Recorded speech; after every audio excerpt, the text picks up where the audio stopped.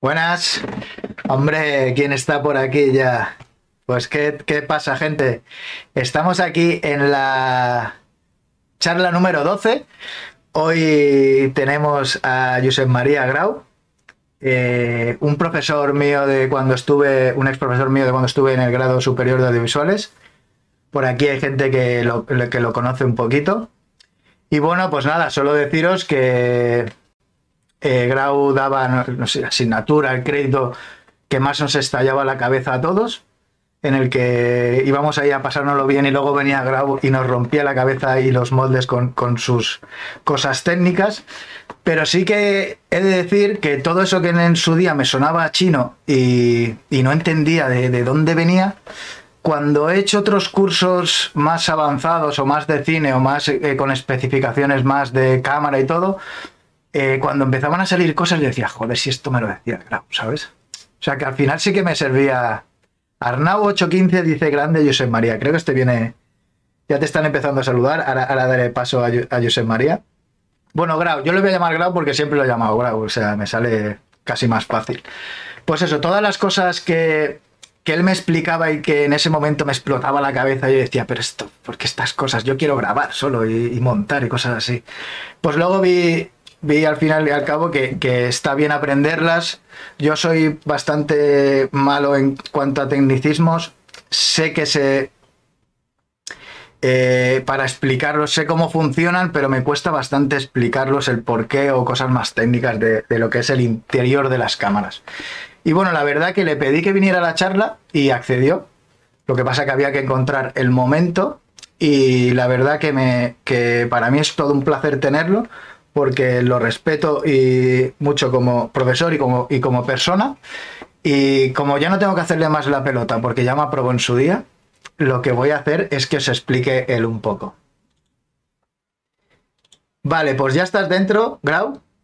Probamos el audio. Puedes saludar, a ver.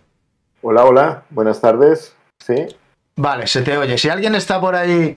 Ah, no, espera. Que me ha faltado una cosa. Ahora sí. Ahora ya se te ve.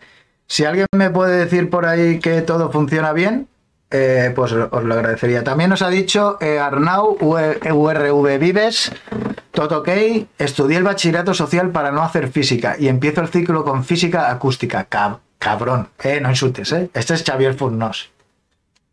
Vale, pues aquí tienes a los haters. Bienvenidos los haters también. eh, ya le he dicho, van a entrar haters y ha dicho que entren si tienen cojones. Así que bueno, aquí tenéis a. Bueno, aquí lo tengo yo, en verdad, porque yo voy a ser el que deba hacer las preguntas. Pero vamos a contestar preguntas que les hagáis vosotros. Y nada, pues ya has visto mi breve explicación. Que pues eso, que ya no te tengo que hacer más la pelota. No, no, no. Y no, no, no, no, no es necesario ni mucho menos. Eh, nada, un placer. Eh, yo cuando me, me propusiste la, la, posibilidad de hablar, de, de organizar esta charla, eh, yo por mí encantado, o sea, el, el placer es, es, mutuo, ¿no? Y, y, tampoco te voy a hacer mucho la pelota, pero es, es, estas iniciativas molan, están muy chulas, ¿vale? Eh, están muy chulas y, y, bueno, los haters entre comillas que están entrando, haters eh, dicho con mucho cariño porque veo aquí a, al Arnau, al Xavi y al el Barón con B, eh, pues son gente que, los aprecio, los aprecio mucho, ¿no? Eh, nada, voy a hacer una, un poco de presentación, de mi presentación cortita, de, quién soy yo, a qué me dedico y, por qué estamos aquí un poquito. Y luego, si te parece, Iván, vamos haciendo un poco el, la charla un poquito más de, toma y daca, de cuestiones que, quieras preguntarme y que yo, eh, en mi justa medida o buenamente, pueda, pueda responder. Eh, bueno, ya lo has dicho tú, yo soy José María Grau, me dedico a la docencia desde hace uf, 19 años que empecé a, en la docencia en la formación profesional y a nivel universitario pues hará unos 15, 16 años más o menos, ¿vale? Eh, mi perfil a nivel académico de estudios, yo vengo de ingeniería, eh, de telecos y electrónica siempre en la, en la vertiente de, imagen y sonido y hice el doctorado en antropología y comunicación eh, lo empecé hace bastantes años, pero lo, terminé hace, bueno, me doctoré en el 2000, 2018. Eh, no sé si la, primera pregunta eh, comentaba si por vocación el tema del. Sí, la primera pregunta era un poco eh, los estudios que impartías y si te venían por vocación o al final había sido. Sí, vale, ok. Eh, yo me dedico ya, bueno, lo que comentábamos, ¿no? La docencia en la FP, sobre todo en la vertiente de, tecnología audiovisual o sistemas técnicos. No os he comentado, pero bueno, en el, centro donde trabajo desde el 2003 es el Instituto Pere Martell y estoy en la Universidad Rovira, Rovira Virgili, ¿vale? Más que nada porque, bueno, estamos como un poco en el salón de casa, ¿no? Pero entiendo que este vídeo se va a compartir y habrá gente pues que no, que no, nos, que no nos conozca. Eh, como todo trabajo empieza un poco por casualidad, es decir, yo no tenía o no tenía una vocación de, de trabajar de docente, pero sí que mi vocación respecto al audiovisual empieza de bastante chico. Entonces, eh, por casualidad, finiquité estudios y me salió la oportunidad de trabajar en, de docente en, formación profesional en, la, en, el ciclo de sonido, esto fue en Barcelona, y, resultó que, que, hablar de mi pasión o, o de, de, una de las cosas que más me motivan en, desde, ya te digo, desde bien chiquito, ¿no? Que es el, mundo de la imagen y del sonido, eh, pues bueno, se ha trasladado, se ha traducido en que mi trabajo es un poco un hobby, ¿no? O sea, es una, es una pasión, es una vocación. Y sí, a día de hoy puedo, puedo decir que quizá arrancó por una casualidad y que a día de hoy, bueno, pues trabajar de lo mío es, bajo mi punto de vista y en mi opinión, es, un, placer, ¿no? Porque explicar cosas que te molan y que, y que te motivan y al mismo tiempo que demandan, sobre todo el tema de la tecnología audiovisual, que en 15 años ha dado un vuelco brutal, que entiendo que durante la charla ya saldrá todo esto, ¿no? La evolución y demás. Eh, pues a día de hoy podríamos decir que es 100% una, una vocación, ¿no? Y que, que me mola, ¿no? Y bueno, y luego explicar, trasladar estos conocimientos y ya como llevamos tantos años trabajando de esto, eh, y ahora vuelvo a lo que decía al principio, charlas como esta, pues hacen que un poco eh, le des sentido a tu trabajo y que cierres un poco el círculo, ¿no? De que gente que se ha formado mediante eh, tus barrilas o tus, tus traspasos de conocimiento, ¿no? Estén ahora por aquí escuchando, participando o organizando eventos como este tipo y, como es tu caso, ¿no? Y dando y trabajando en proyectos audiovisuales profesionales de, primera línea. Entonces, mola. Eh, en definitiva, sí, vocacional, podríamos decirlo. No sé si me estoy enrollando mucho, Iván, ¿me puedes cortar? No, no, no, no, no, que va, que va, yo no corto. Aquí lo que nos dice Arnau, eh, que primero desea, que no sé lo que es CEA, eh, tecnología ibas a putear, ¿verdad? Te dicen. Estos son unos cabrones, ¿eh? Aquí no nos veníamos a chuparnos las pollas tampoco, pero aquí todos, sois unos cabrones, ¿eh? No, a ver, eh, primero de comunicación audiovisual, tecnología, ibais a putear. No, no, no, a ver. El, no sé, ahora voy a, voy a explicar batallitas, quizá ya un poco de. No sé si es viejo joven, porque yo creo que ya estoy traspasando la, la etapa de viejo joven y, y como decía Rubianes, ¿no? Estoy entrando en la serena madurez. Eh, no, putear no. Lo que pasa que, bueno, entiendo que también el emoticono del final ya, ya lo dice con cierta ironía.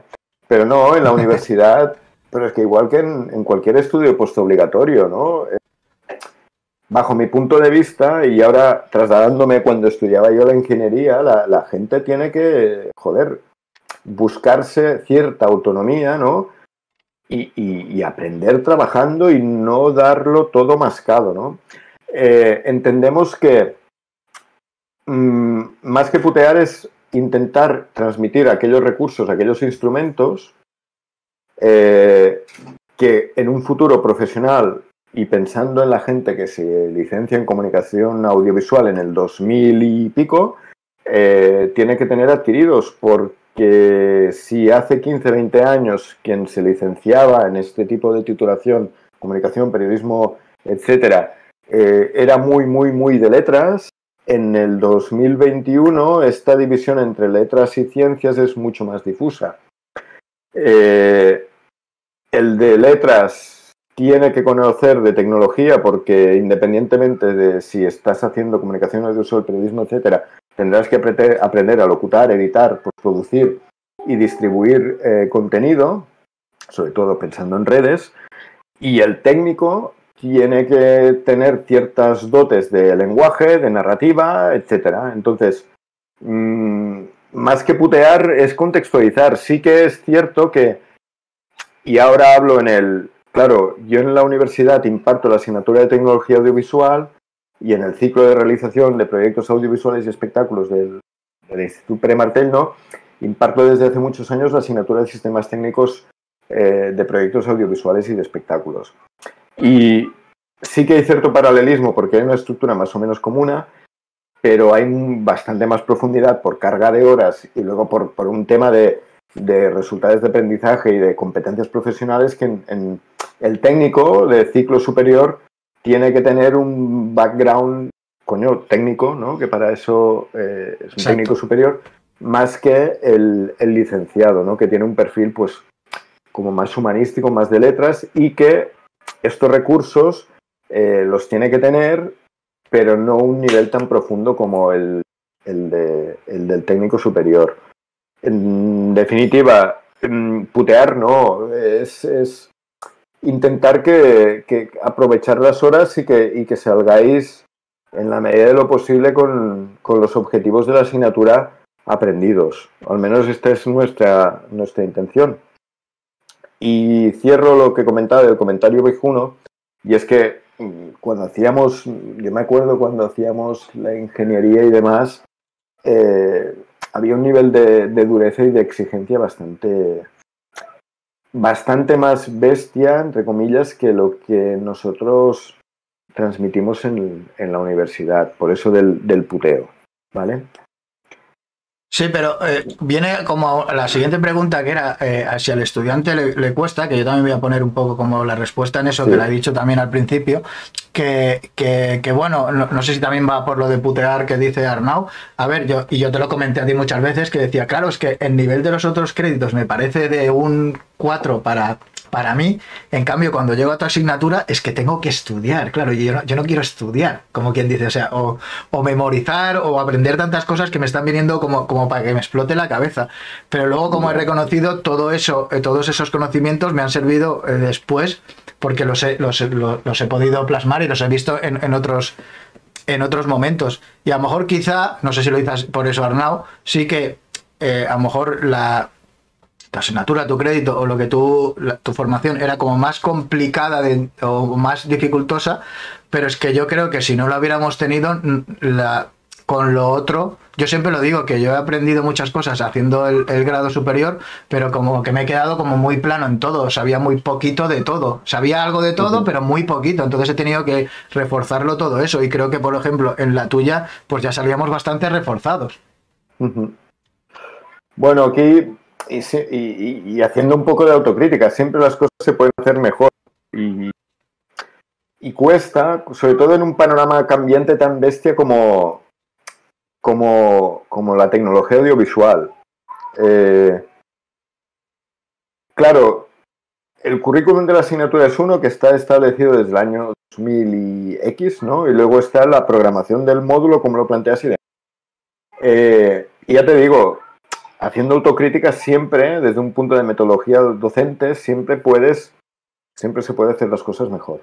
Eh, pero en cuanto a contenido, yo lo que intento hacer siempre es hacer un poco la radiografía del momento, intentar rescatar aquellos puntos que creo que son interesantes, siempre obviamente respetando el currículum, pero incluso si hay alguna cosa que, por ejemplo, la evolución de Internet, el tema del Internet de los datos, el tema del Big Data o cositas que estoy explicando ahora, que seguramente cuando, cuando estuvimos en las aulas, que creo que Iván tocabaste en el 2012, obviamente eh, la Internet de los datos, el Big Data, fake news y todo esto no existía, ¿no?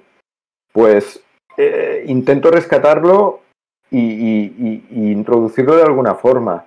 Eh, claro, yo, y, teniendo en cuenta los límites, yo podemos entender todos que, el ciclo donde estamos nosotros es un punto de, partida mediante el cual tú puedes ya enfrentarte más o menos al mercado laboral, es decir, tú ya puedes tener responsabilidades de trabajo y a partir de ahí cada uno puede eh, tirar por su camino, que luego ya hablaremos de si la especialización o no, etcétera, ¿no?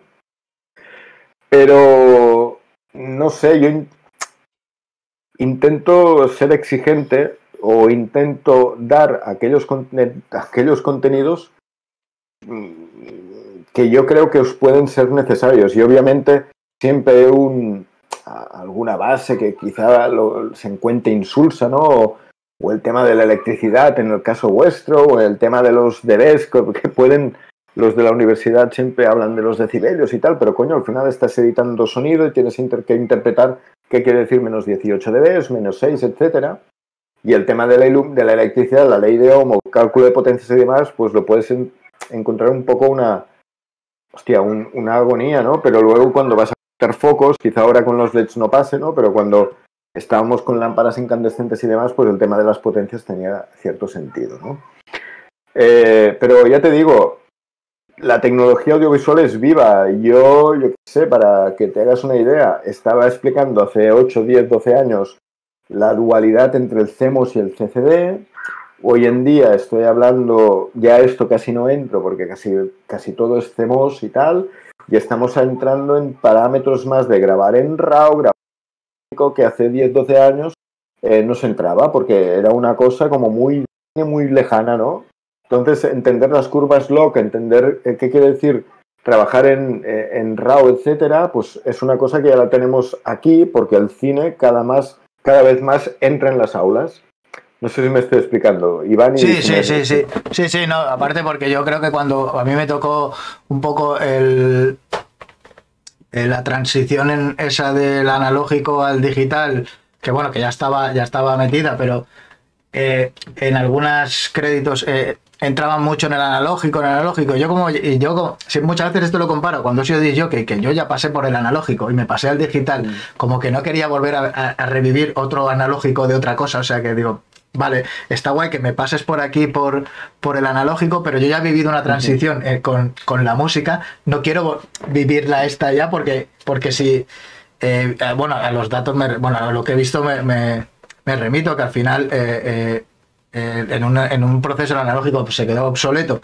Y en este pues se está quedando porque solo queda para, para según qué cosas o según qué productos, pero yo no quería que me, que me machacaran con ese tema porque yo lo que quería es ver más lo que estás diciendo tú, cómo iba a avanzar, que, lo que habíamos tenido. Por aquí nos pregunta Xavi Fornos, a ver, ¿cuál es la flexibilidad que hay en la docencia por parte de los profesores o el propio centro de enseñar eso que viene acotado, acotado entre comillas, por la Generalitat y que suele quedar obsoleto con bastante velocidad? Sí, sí. Eh, el tema de la obsolescencia a nivel de, currículum es que se puede extrapolar a nivel de líneas editoriales. El tema de la tecnología audiovisual es, un, bueno, vivimos tiempos líquidos, ¿no? Eh, citando un poco al, al Bauman, ¿no? por el tema de, pues eso, el tiempo líquido, ¿no? Que, todo cambia, todo cambia y tal. Eh, la flexibilidad es, es, bastante amplia, Xavi. Es decir, eh, piensa que los currículums al final viene de un tema legislativo, de regulación, y, esto es un problema porque el tema burocrático va muy lento y si ya la tecnología audiovisual es exageradamente cambiante y la burocracia es exageradamente lenta para que se pueda adaptar y en este sentido, eh, bueno, existen grupos de trabajo que, lo hablamos, ¿no? Los, los, los docentes, eh, pero hay flexibilidad, es decir, mm, ¿cómo te diría? Eh, que en una línea de, un contenido me hable, pues, imágenes de, alta definición, por ponerte un ejemplo tonto, ¿eh? Eh, que solo me hable de, definición estándar y alta definición, pues bueno, yo aquí lo ampliaré al 8K, al 4K, etcétera, y seguramente de las normas PAL y NTSC de televisión analógica ya no hablaré, ya me plantaré a la TDT y en todo caso haré referencia de la norma PAL o NTSC cuando habla de resoluciones SD. No sé si me explico, es decir, que al final también es un poco la, flexibilidad está y es un poco la voluntad de cada uno de, de, querer adaptarlo, ¿no? Y la voluntad y también la capacidad de, uno mismo, es decir, eh, con el discurso, con la, lo que os estoy soltando ahora, mm, en ningún momento quiero que entendáis que estoy a la última absolutamente en todo, ni mucho menos, porque es que es, es una brutalidad. Es decir, y eso, eh, y, ligándolo un poco con lo de la vocación del principio, eh, en cierta manera mola porque te hace estar un poco el candelero, ¿no? Y te hace estar un poco de indagar y tal. Y, y yo en mi caso, yo siempre cuando estoy con vosotros, estoy con las orejas bien abiertas y con el cerebro procesando para aprender, ¿no? Incluso con gente que tengo, que tengo en el aula. Es decir, eh, con eso y, con eso tampoco quiero decir que las clases las hacen otros, no es eso. Pero sí que como nuestro el tema audiovisual es adaptativo, cambiante y demás, ves ciertas dinámicas de gente más joven, ¿no? Porque, pues bueno, todo cambia y cambia muy rápido y que te hace que tú te empapes y que intentes, ¿no? A moldarlo, ¿no? Tendencias y, y a movidas. Pero bueno, Javi, eh, flexibilidad existe y la hay. Porque si no estaríamos dando eh, contenidos anclados en el 2012, ¿no? O 2010 y no tendría ningún tipo de sentido. Y te lo he tenido que explicar algún alumno. Puede ser en cosas concretas, sí. Y yo en este sentido no me escondo.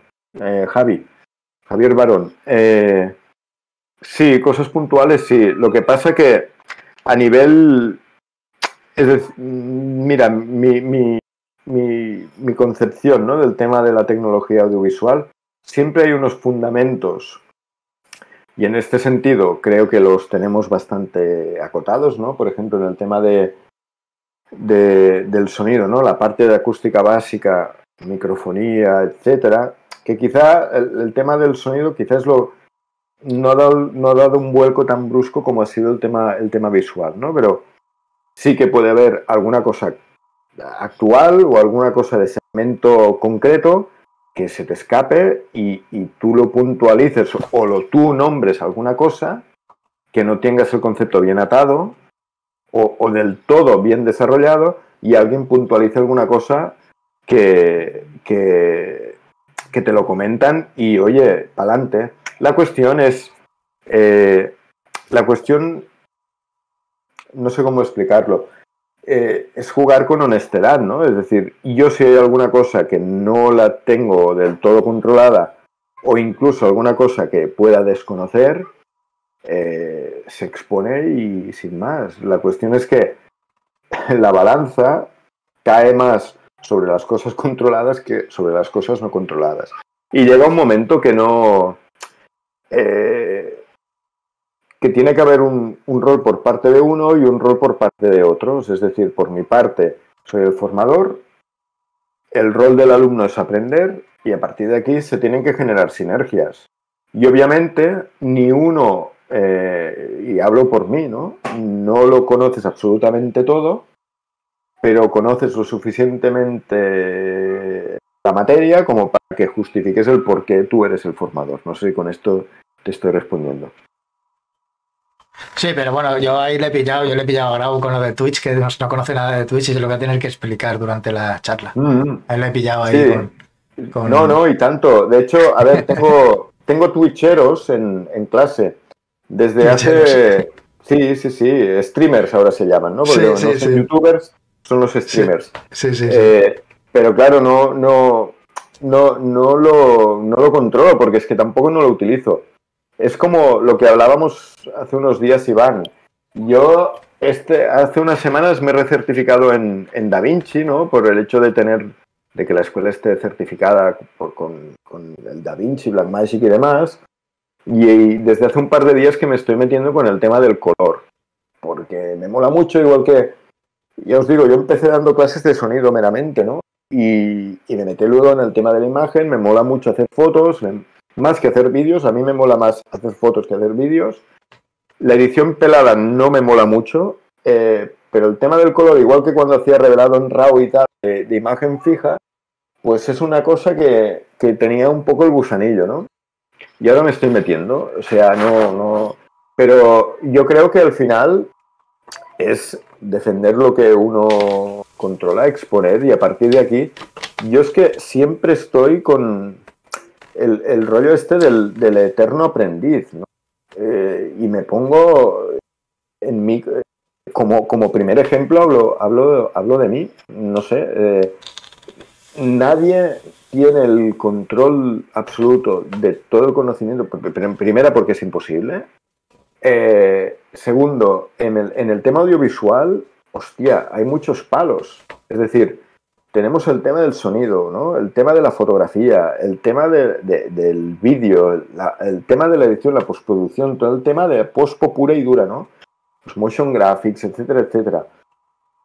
El tema 3D, programación de videojuegos. Eh, y, encima todo esto, ¿no? Híbrida, ¿no? Vamos eh, hacia la inteligencia artificial. La operación de cámara seguramente no será la misma ahora que de aquí 10, 15 años eh, haciendo una masterclass de, de, Da Vinci hace un par de viernes, un intensivo de 5 horas online, la versión de, de, pago, la, el estudio, eh, ya tiene un identificador facial para categorizar planos, pero es que ya no te dice qué planos tienen caras, sino que te organiza diciéndote cuántos planos tienen una cara X, ¿no? Y esto es una anécdota pero bueno, a partir de ahí se puede extrapolar en distintos palos, ¿no? El tema del Big Data también se mete por el tema audiovisual. Entonces, mira, justo ayer, el tema del deepfake, que entiendo que todos estáis ya... Ayer el Paul McCartney, el, el Beatle, ¿no? Eh, sacó un videoclip cantando con Beck eh, y el videoclip era un deepfake suyo de cuando era joven y hecho adrede, ¿no? Claro, vamos a unas movidas y el tema audiovisual está aquí, en medio, ¿no? Entonces, se hibrida mucho el tema de la comunicación, tecnología audiovisual e informática. Y a saber dónde vamos. A saber dónde vamos. Y a ver. Ah, vale, vale. Dime, dime. No, perdón. No, y al final se está. Bueno, tecnificando tanto. Es... Sí, lo que pasa que, Javi, tecnificar y luego distintas narrativas, ¿eh? Es que hay un cambio de, eh, hay una, un, incremento de tecnificación, pero al mismo tiempo hay, yo creo que nunca en la historia había, había eh, tenemos tanta gente produciendo contenido audiovisual. y fíjate que hay una paradoja. Se está tecnificando mucho, pero mucha gente está trabajando de esto, ¿no? Entonces, eh, se está tecnificando, pero, pero se está facilitando el uso de dispositivos audiovisuales. No sé si me estoy explicando. Que hace 25, 30 años, 20, quien operaba en cine, ¿no? Era una persona, un rol muy, muy marcado. Y hoy en día, producciones cinematográficas de calidad se pueden hacer mm, relativamente más fácilmente que hace 25 No, no, y, de ahí viene un poco también las, la otra pregunta que tenía, eh, que, que cómo había cambiado, por ejemplo, eh, de, cuando yo estudiaba, creo que hace 10 años o algo así, las infraestructuras y los medios que teníamos allí en ese momento, como habrán, quiero que me digas la evolución que ha tenido, porque claro, eso creo que estará limitado. Y y sí, también era un poco eh, como que a los chavales, al haber este tipo de, de, como más abanico, más amplio en, toda, en todo el mundo audiovisual, sí se había convertido, porque yo también lo hablaba mucho con, un colega mío, como hace 10 años o así, eh, le dio a la gente por ser eh, luego también había una, una época que querían ser todos diseñadores gráficos, pasaron por muchos estudiar cine y ahora quiere ser streamer. O sea, si era, era un poco, eh, si era un poco de mod, había como un poco de moda de estudiar en, su día, estudiar esto, y el, y el, cambio que habían tenido las infraestructuras con todo el cambio de la tecnología de cuando estudiábamos nosotros o lo que hay ahora, a lo que, lo que te puedes encontrar ahora. Me acuerdo que antes andábamos locos. Me acuerdo en, nuestra clase que todo el mundo quería tener en la Canon 5D, eh, que íbamos locos, y ahora no sé qué están pensando la gente que está allí. Sí, bueno, la 5D todavía está, está utilizándose, ¿no? Pero sí que es cierto que, claro, eh, aquí hay dos cosas. Una es, ya no te digo la vocación, sino aquello que está de moda y que dices, hostia, me mola y quiero hacer esto, ¿no? Como puede ser eh, a día de hoy de streamer, como hace 15 años quizá te encontrabas con gente que yo quiero ser director de cine o yo quiero ser eh, operador de cámara, ¿no? Bueno, quizá operador de cámara no era tan vistoso, ¿no? O guionista o director, ¿no? Porque era aquello que la ilusión de uno viendo ciertas pelis te, te lleva a pensar, ¿no? Claro, el tema del streamer a día de hoy, desde los niños bien chiquitos hasta adolescentes y demás, el tema de las redes es, es brutal, ¿no? Y de hecho la gente no, los, los chavales jóvenes bueno, incluso, y no tan jóvenes, ya prácticamente no consumimos tele, tele convencional.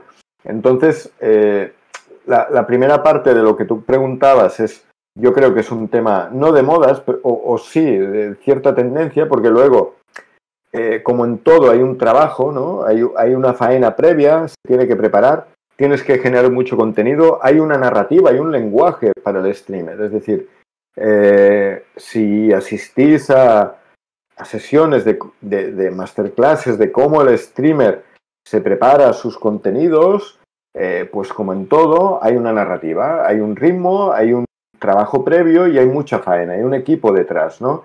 ¿Qué pasa? el chaval joven ve el primer input, que es el trabajo montado, y, a priori, como, bueno, pero es que esto pasa con cualquier ámbito del arte o de, o de, sí, de creación artística, ¿no? Cuando tú ves una banda, y bueno, si tú ves, tú vienes de, del tema del DJ que lo has nombrado antes, ¿no? Cuando hiperfluida, ¿no? Igual que yo cuando, o, cuando, a mí me mola también mucho el mundo de la música, ¿no? Cuando ves un concierto de jazz o, de música clásica y dices, coño, qué, bien tocado, qué fácil, ¿no? Que cuando, cuando ves que una cosa es tan fácil es cuando realmente eh, hay una complejidad de atrás, ¿no? Entonces yo entiendo que los chavales, ¿no? Se, se queden un poco con, estos referentes porque es, lo que tienen a día de hoy. ¿vale? Entonces, bueno, esto cambiará. De aquí 5 o 10 años, quizá los streamers tendrán, tendrán otro nombre. Eh, vete tú a saber cómo, cómo irá evolucionando todo esto, ¿vale? Y, tendremos otros referentes, ¿vale? Es, mi opinión. Eh, y luego, en cuanto a tecnología, sí ha cambiado, ha cambiado. Eh, obviamente, nosotros eh, a nivel de inversiones cambiamos el control técnico y, el, y todo el equipo de cámaras de plató hará unos 3-4 años más o menos.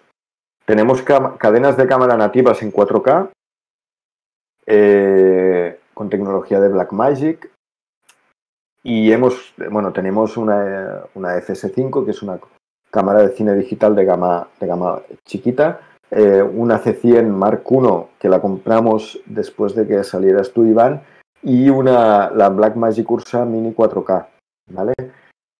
Claro, todo esto mm, esto te realza a nivel cualitativo eh, el, producto final, pero esto es posible adquirirlo porque el precio de estos productos ha bajado. Eh, tirarte hace 8 o 9 años atrás, claro, en el 2012 creo que compramos la 5 de marca con el 2470 2.8. Eso a día de eh, hace 9-10 años era una cámara que daba un muy buen rendimiento por el precio que tenía. Si querías algo similar, tenías que para, pagar 3-4 veces más. Eh, a día de hoy tienes opciones relativamente baratas, entre comillas, y que te dan un rendimiento muy bueno. Y incluso no solo era el tema de la adquisición de los brutos, ¿no? Era, era todo el flow. Eh, la, 5D Mark II te trabajaba con un H264 muy apretadito, pero bueno, para el tipo de producciones que hacíamos nosotros, pues bueno, podías hacer algunas cosas y tenías el producto acabado, pero claro, si imagínate que hubiéramos optado, pues yo que sé, una Red One del momento que valía, yo que sé, 20.000 euros, ¿no? Que es una burrada, pero imagínate, claro, tú grabas con ese RAW, eh, ¿cómo, lo mueves, ¿no? ¿Cómo, andas? A día de hoy es que no solo es el equipo, tienes todo el workflow que con una mm, máquina mediana y con un software gratuito como puede ser el DaVinci, también tenemos que tenemos la suite de Adobe y el Final Cut eh, con, licencias eh, gestionadas por, por educación, ¿no? Entonces, pero bueno, imagínate, no tenemos estas licencias. Trabajo con el RAW de Blackmagic o con, un, o con una imagen procesada, pero con SLOG 3 y tienes un workflow bastante chulo, ¿no? Desde la, captación, la captura y, con medios que hace 10 años hubieran valido tres y cuatro veces más. Entonces, al final es un tema de, de, de, que los costes eh, tiran, tiran para abajo. Y esto hace que haya mucha más gente, aunque esté todo mucho más tecnificado, que se acerque. Y luego está todo el tema de la internet, y es que son los chavales son súper visuales, es decir, el contenido día a día audiovisual, desde los streamers hasta los TikTokers, etcétera, ¿no? Eh, el chaval desde bien pequeñito día de hoy ya tiene el audiovisual eh, adquirido. Y ya no te digo con el tema de las plataformas, o sea, tenemos los videoclubs en casa, ¿no? Eh, entonces, claro, la gente se empapa de muchísimo contenido. Vaya chapos estoy metiendo. bueno, una, una, una, pregunta, ahora contestamos la de, la de Arnau. Eh, que si eh, en gran medida tú crees que, que, la gente que. Yo creo que siempre tiro un poco más para este rollo del cine. Si se sabe de cine, si ves que la gente que entra. Yo, por ejemplo, eh, no era muy cinéfilo hasta hacer el, grado superior, creo que era porque como estaba bastante metido en la música y me acaparaba mucho tiempo la música, no le daba el, o sea, el tiempo normal de ver películas, pero tampoco entrar mucho, creo que fue a partir de ahí. Pero ¿cómo ves tú la gente que entra así? Pues yo creo que nos encontramos con extremos. Es decir, te encuentras con gente súper cultivada y gente que, aunque haya consumido mucho audiovisual, no tiene cultura audiovisual. Y también aquí hay otra paradoja. Es decir, te encuentras con gente que es la Wikipedia del cine o que tiene muchos referentes, muchísimos, y te encuentras con gente que no. Y, esto es chocante. Y de hecho, eh, Hablo, sobre todo eh, pensando en el ciclo formativo, ¿eh? porque claro, eh, con el tema de, la universidad no, tengo tanto seguimiento del personal, ¿me explico? Pero claro, con la, gente del ciclo estoy muchas horas con ellos. Entonces, me encuentro, o al menos bajo mi punto de vista, con estos dos tipos, ¿no?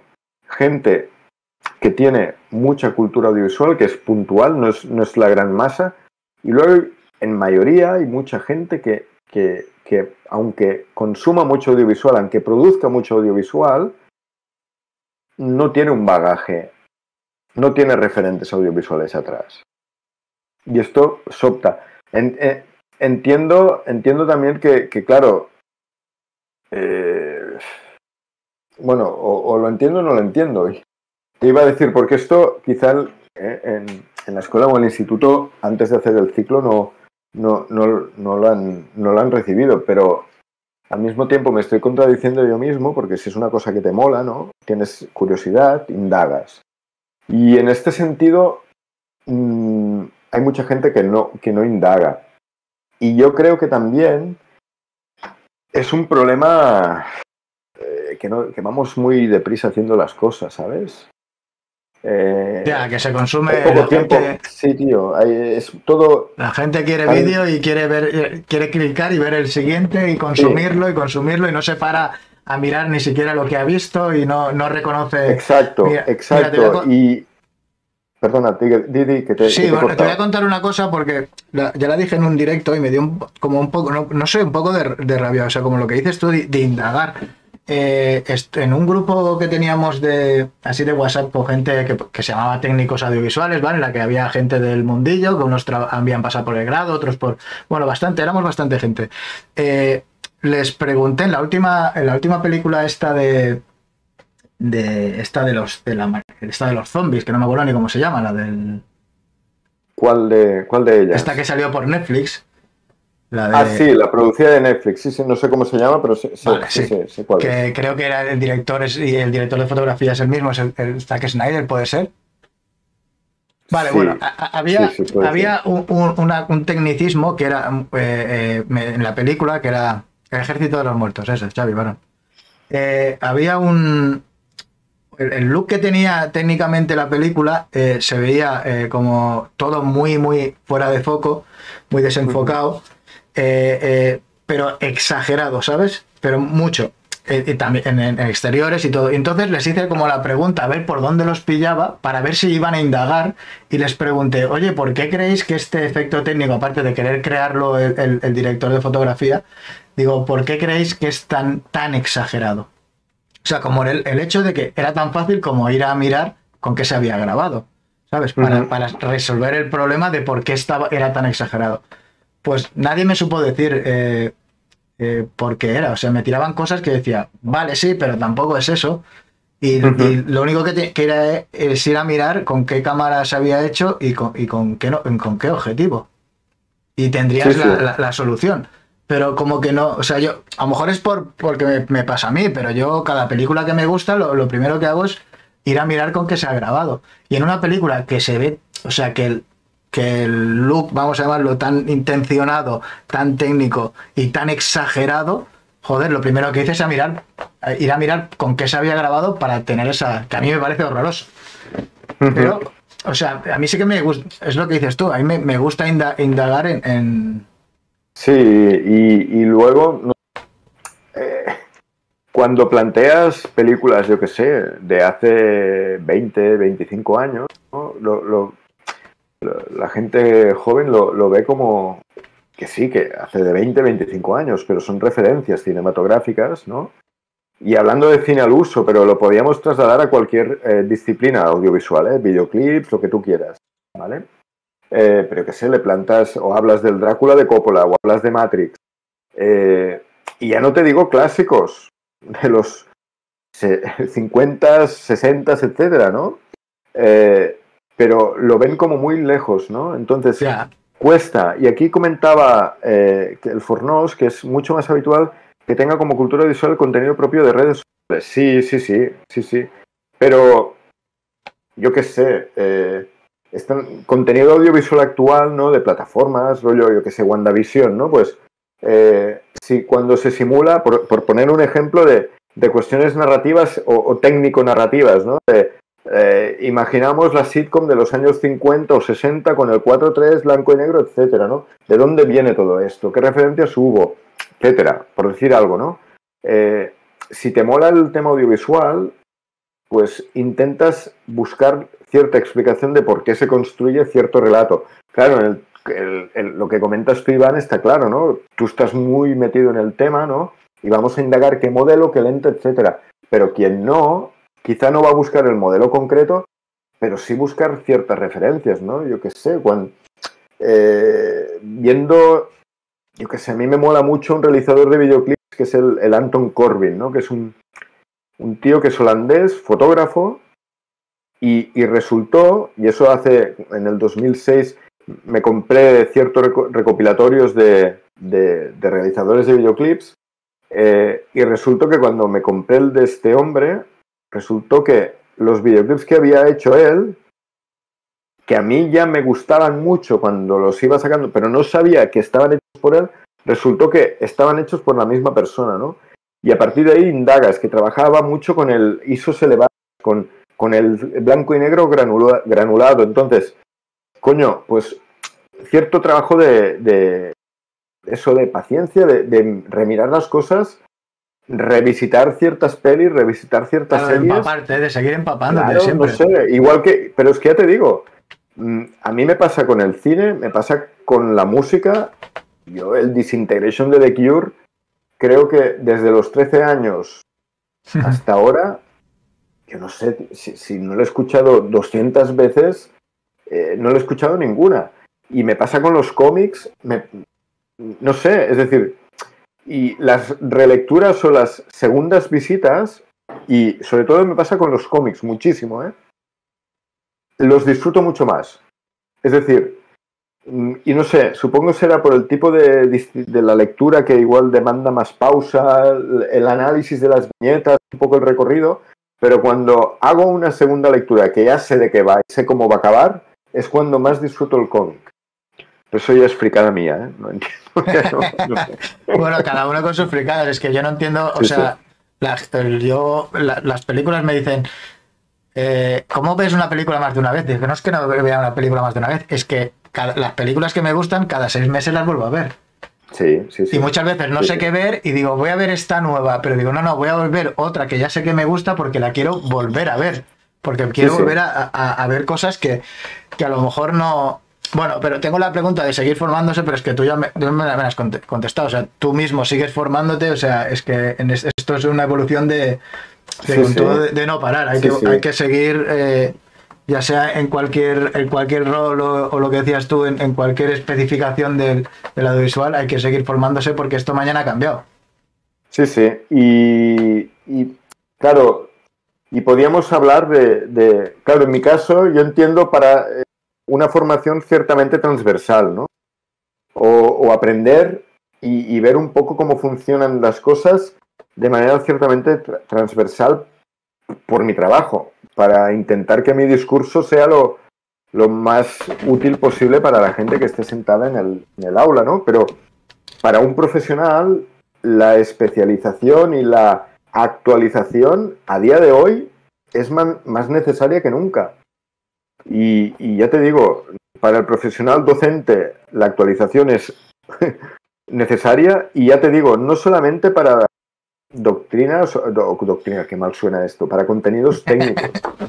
La narrativa está cambiando. O sea, desde la chorrada del vídeo vertical o el formato más cuadrado, que esto te cambia la regla de composición, te cambia la dirección de arte, al consumo audiovisual de pantalla por pantalla pequeña que te, que, te, cambia de es que desde el diseño de producción te cambia el hecho de que un contenido lo tengas que consumir desde un móvil a una pantalla enorme, porque un, plano muy complicado de objetos por pantalla pequeña, bajo mi punto de vista, nos perdemos y, se pierden, se pierden cosas que, no, no. Entonces, eh, es que mm, la disciplina audiovisual, eh, todos debemos estar, bueno, bajo, mi punto de vista, ¿no? Eh, estar un poco actualizándonos. Y obviamente para un profesional que sea determinado tipo de, faena o de rol dentro de, la producción o, de la creación de contenidos audiovisuales, todavía más. Eh, los vídeos corporativos hace 15 años se entregaban en un DVD y hoy son stories de Instagram, ¿no? Entonces, eh, todos debemos estar un poco al día y es una locura. Es un, a veces es un, agobio, ¿no? Sí, es un caos. sí, sí. Pero dentro del caos tenemos que buscar el, el orden, ¿no? O el, dentro de este cambio permanente tenemos que buscar cierto orden.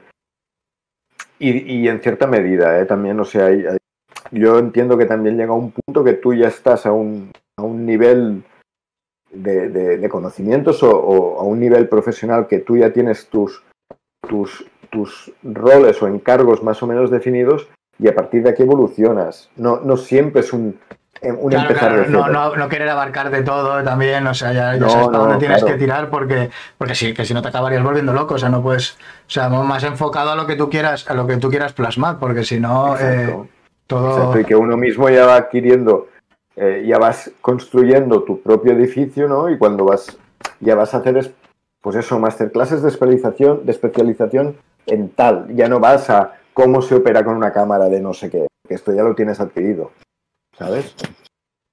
Vale, vamos a meternos aquí en un tema un poquito más complicado. Sí. Date luz, date luz, que si no, no se te va a ver. Eh, un poco más así, más complicado, que lo hablé con, lo hablé con Mirella, que se pasó por aquí también hablándonos un poco de producción, y es el tema de, de que yo me encontré, ahora no me acuerdo eh, cuando yo estuve en, clase el porcentaje de chicas y, chicos que, era, que éramos, pero por ejemplo me lo he encontrado en casi todos los, cursos que he estado, eh, normalmente la mayoría eran, eran, eran chicas. En, tanto de color como de dirección de fotografía y en varios cursos que he estado me he encontrado que si no era 50-50 era la mayoría de chicas.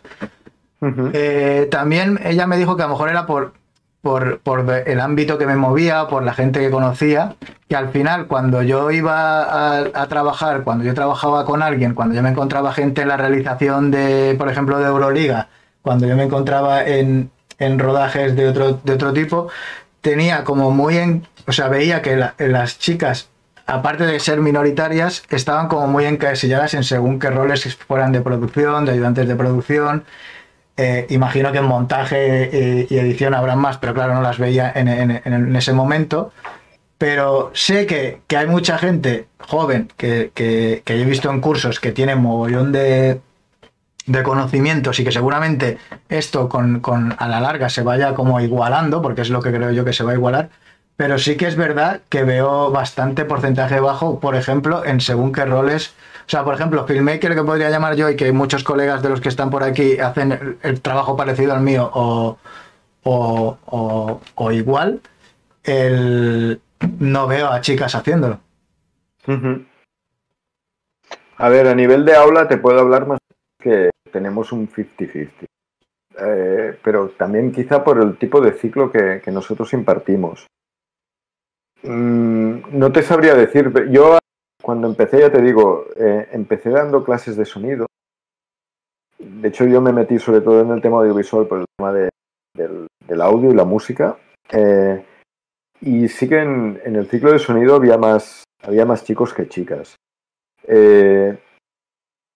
Pero, y, a nivel laboral, pues quizás sí en, en bolos de desplegamiento técnico. Claro, ahora no te puedo hablar de cuando he visitado algún bolo de, alguna realización televisiva y demás, los operadores de cámara y tal, quizás sí que hay un número mayor de chicos, pero en productoras de publicidad que han venido por, el complejo educativo y demás, hay un, hay un número elevado de, chicas.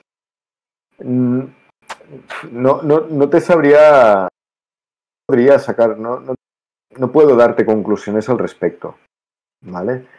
Mm, tampoco quiero opinar o, y, ni puedo sobre, sobre una posible discriminación de género y demás.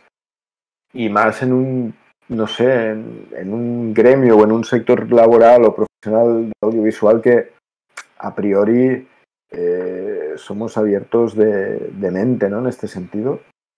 Eh, no, no, no sé, yo creo que desde el punto de vista de aula, aquí sí que podría más o menos opinar, en, lo que es la realización audiovisual, hay más o menos un 50% de, de chicos, chicas, ¿vale? Y en el tema profesional, pues mm, entiendo que quizá por el tipo de perfil puede haber, puede haber más afinidad en los chicos que en las chicas, no sé, pero no, no podría hablar muy, no, no, sí, sí, cuando hablé con Mireia también, que a lo mejor era mi percepción y también ella me, dijo que a lo mejor era por el ámbito donde yo me movía, que ella sí que conocía a muchas chicas, pero bueno, yo creo que conozco a bastante gente y conozco a muchas chicas que hacen cosas en Barcelona muy guays y que están metidas en muchos rodajes y eso, pero creo que la balanza como que aún no está... E, es mi percepción, ¿eh? lo que me he llegado a encontrar. Pero sin, yo tampoco veo nada de discriminación ni nada, o sea, porque a lo mejor... yo lo que quizá pueda haber cierta afinidad o, animadversión por, según qué tipo de perfiles. Pero, pero más allá que de esto no, te sabía decir. Vale, vale. Bueno, pues dejamos ahí ese... Corramos un tupido velo en ese tema y nos vamos a, Vale, esta sí que sí la hemos hablado un poquito antes y, hace poco que me llegó, siempre digo la misma, pero bueno, es la que me llegó a mí. Me llegó una oferta de trabajo para un, una empresa de cosmética en la que pedían eh, saber de After Effects, eh, editar con Premiere, saber grabar, subir historias a Instagram, eh, TikTok, tener un poco de nociones de Twitch. Y, o sea, una empresa que yo sé que hay bastantes que ya tienen en, su. tienen un perfil eh, creado en su. Una empresa muy fresh, ¿verdad? Pues no sé cuál era, la verdad, ni me acuerdo. Pero quiero decirte que hay empresas, o sea, como cuando yo acabé el grado, eh, tenía la opción, como si dijéramos, o la opción más viable que era entrar en alguna televisión local o irme a hacer bodas directamente. Eh, como que ahora hay la opción de alguien que acabe el grado, por ejemplo, un chaval de no sé, 20, 21, 22 años, hay como un perfil creado en, muchas empresas en las que puede empezar en el mundo audiovisual eh, sin tener que buscarse otra cosa o, compaginarlo, de tener un perfil en la empresa de, pues ser creador de vídeos para esta empresa, ya sea de colonias, de cosmética o de lo que sea, en la que por lo menos voy a estar trabajando de, temas audiovisuales, voy a tener que estar allí haciendo cosas solo de la empresa, pero voy a grabar, voy a editar, voy a subir cosas a redes y como que hay un perfil creado para que por ejemplo no lo sé, yo cuando salí como que no había un perfil creado, sino era más televisivo o bodas y bautizos. Como que lo tienen decir que perdona, perdona, Didi. No, bueno, quiero decir que eso, que tienen como como una salida que como que hay muchas empresas que ya tienen eh, ese perfil de y sobre todo que para empezar puede ir muy bien, porque a lo mejor para, si hasta que no consigues clientes o te puedes hacer autónomo o, te metes en una empresa así más grande a, hacer trabajos ya audiovisuales, tienes ese camino, entre comillas, fácil de entrar ya al mundo audiovisual. Sí, sí. Eh, entiendo que te refieres que dentro de las empresas ya existe el rol del creador de contenido. Sí. Y que años antes eh, se subcontrataba o tenías una empresa que te pasaba por los contenidos. Va por ahí, ¿verdad? Sí, sí, sí. Sí, puede ser, sí, sí, es una, es una y, y entiendo que todo se resume ¿no? el hecho de que se de que, de que los recursos técnicos sean más, más económicos y no haga falta un desplegamiento, un desplegamiento tan, tan grande como, como hacía falta eh, años antes para, para crear contenido.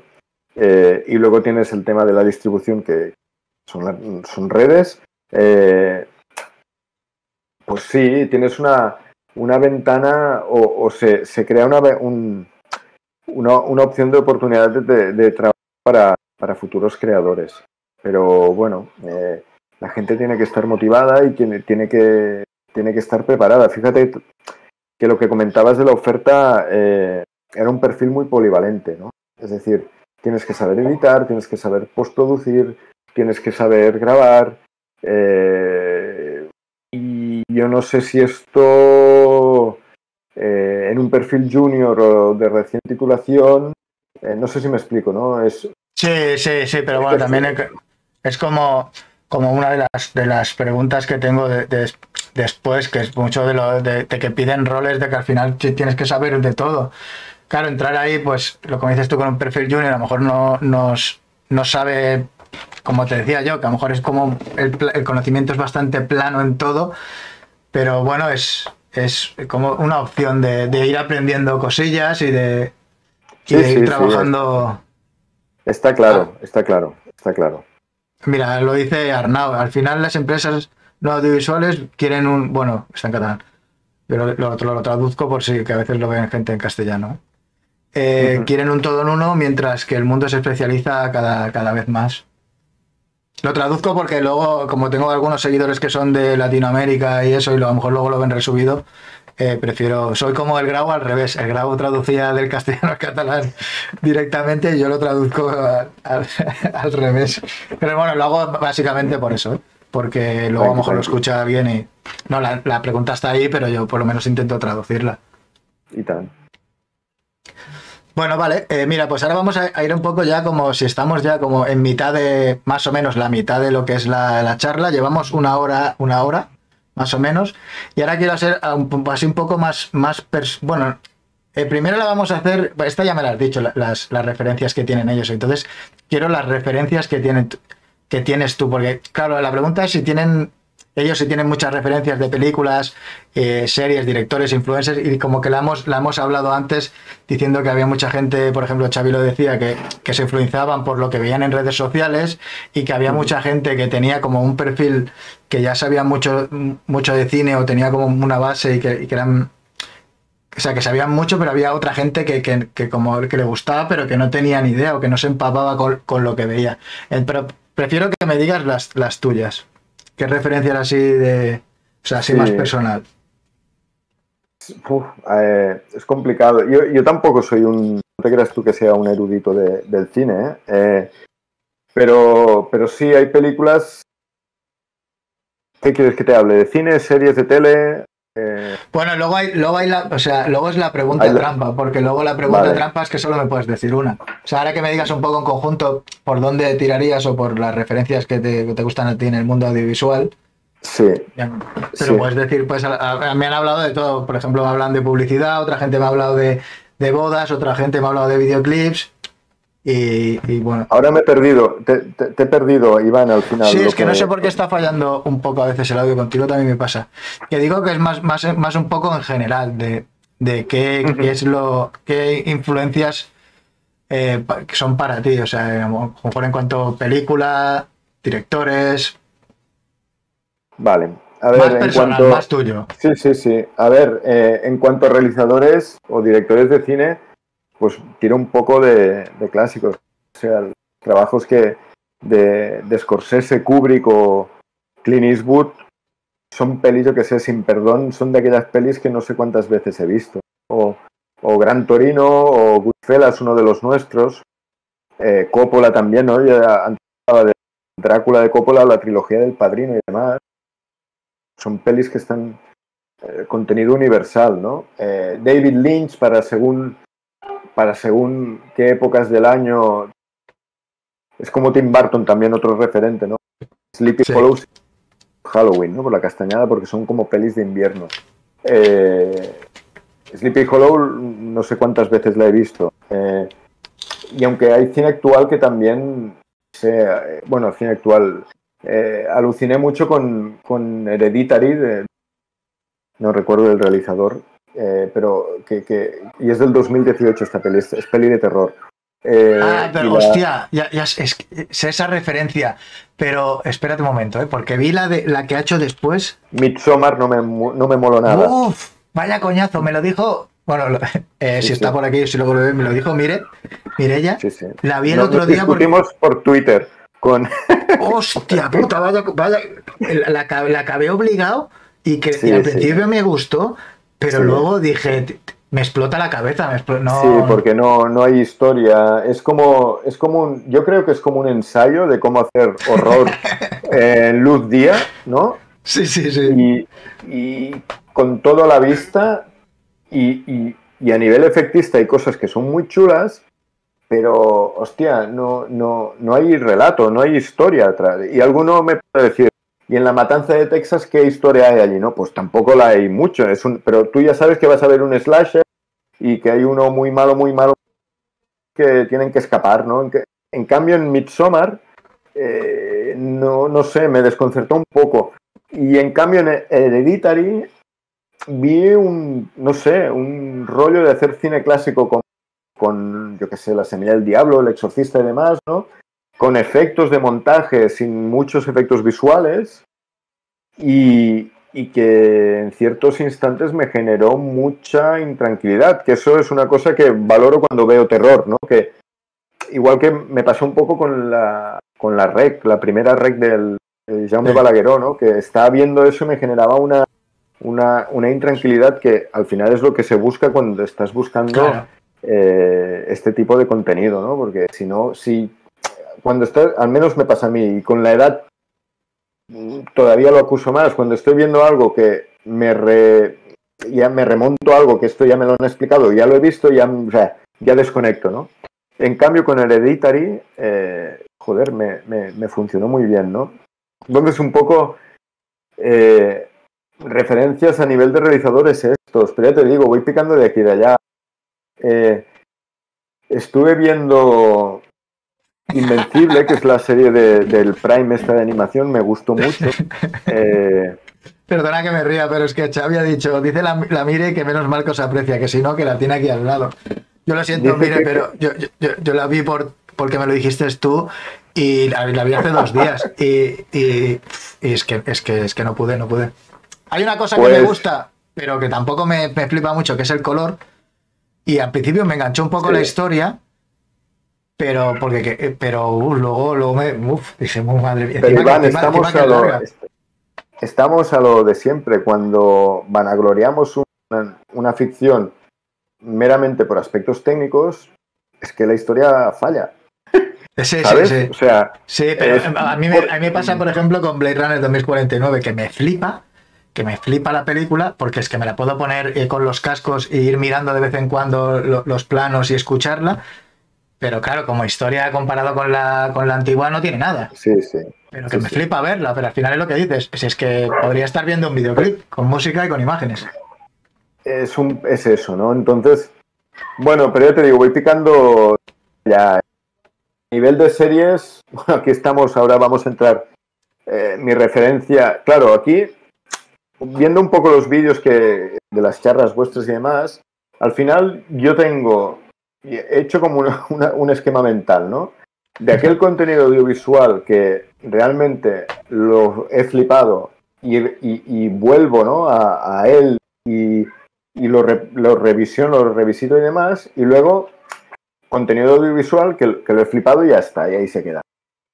Eh, y en cuanto a, pelis, lo, lo- lo que ya te he citado, ¿no? Eh, Padrino, eh, las pelis de, de Gran Torino de, de Clint Eastwood, Sin Perdón, etcétera, son pelis que siempre tengo ahí de vez en cuando Sí. caen. ¿no?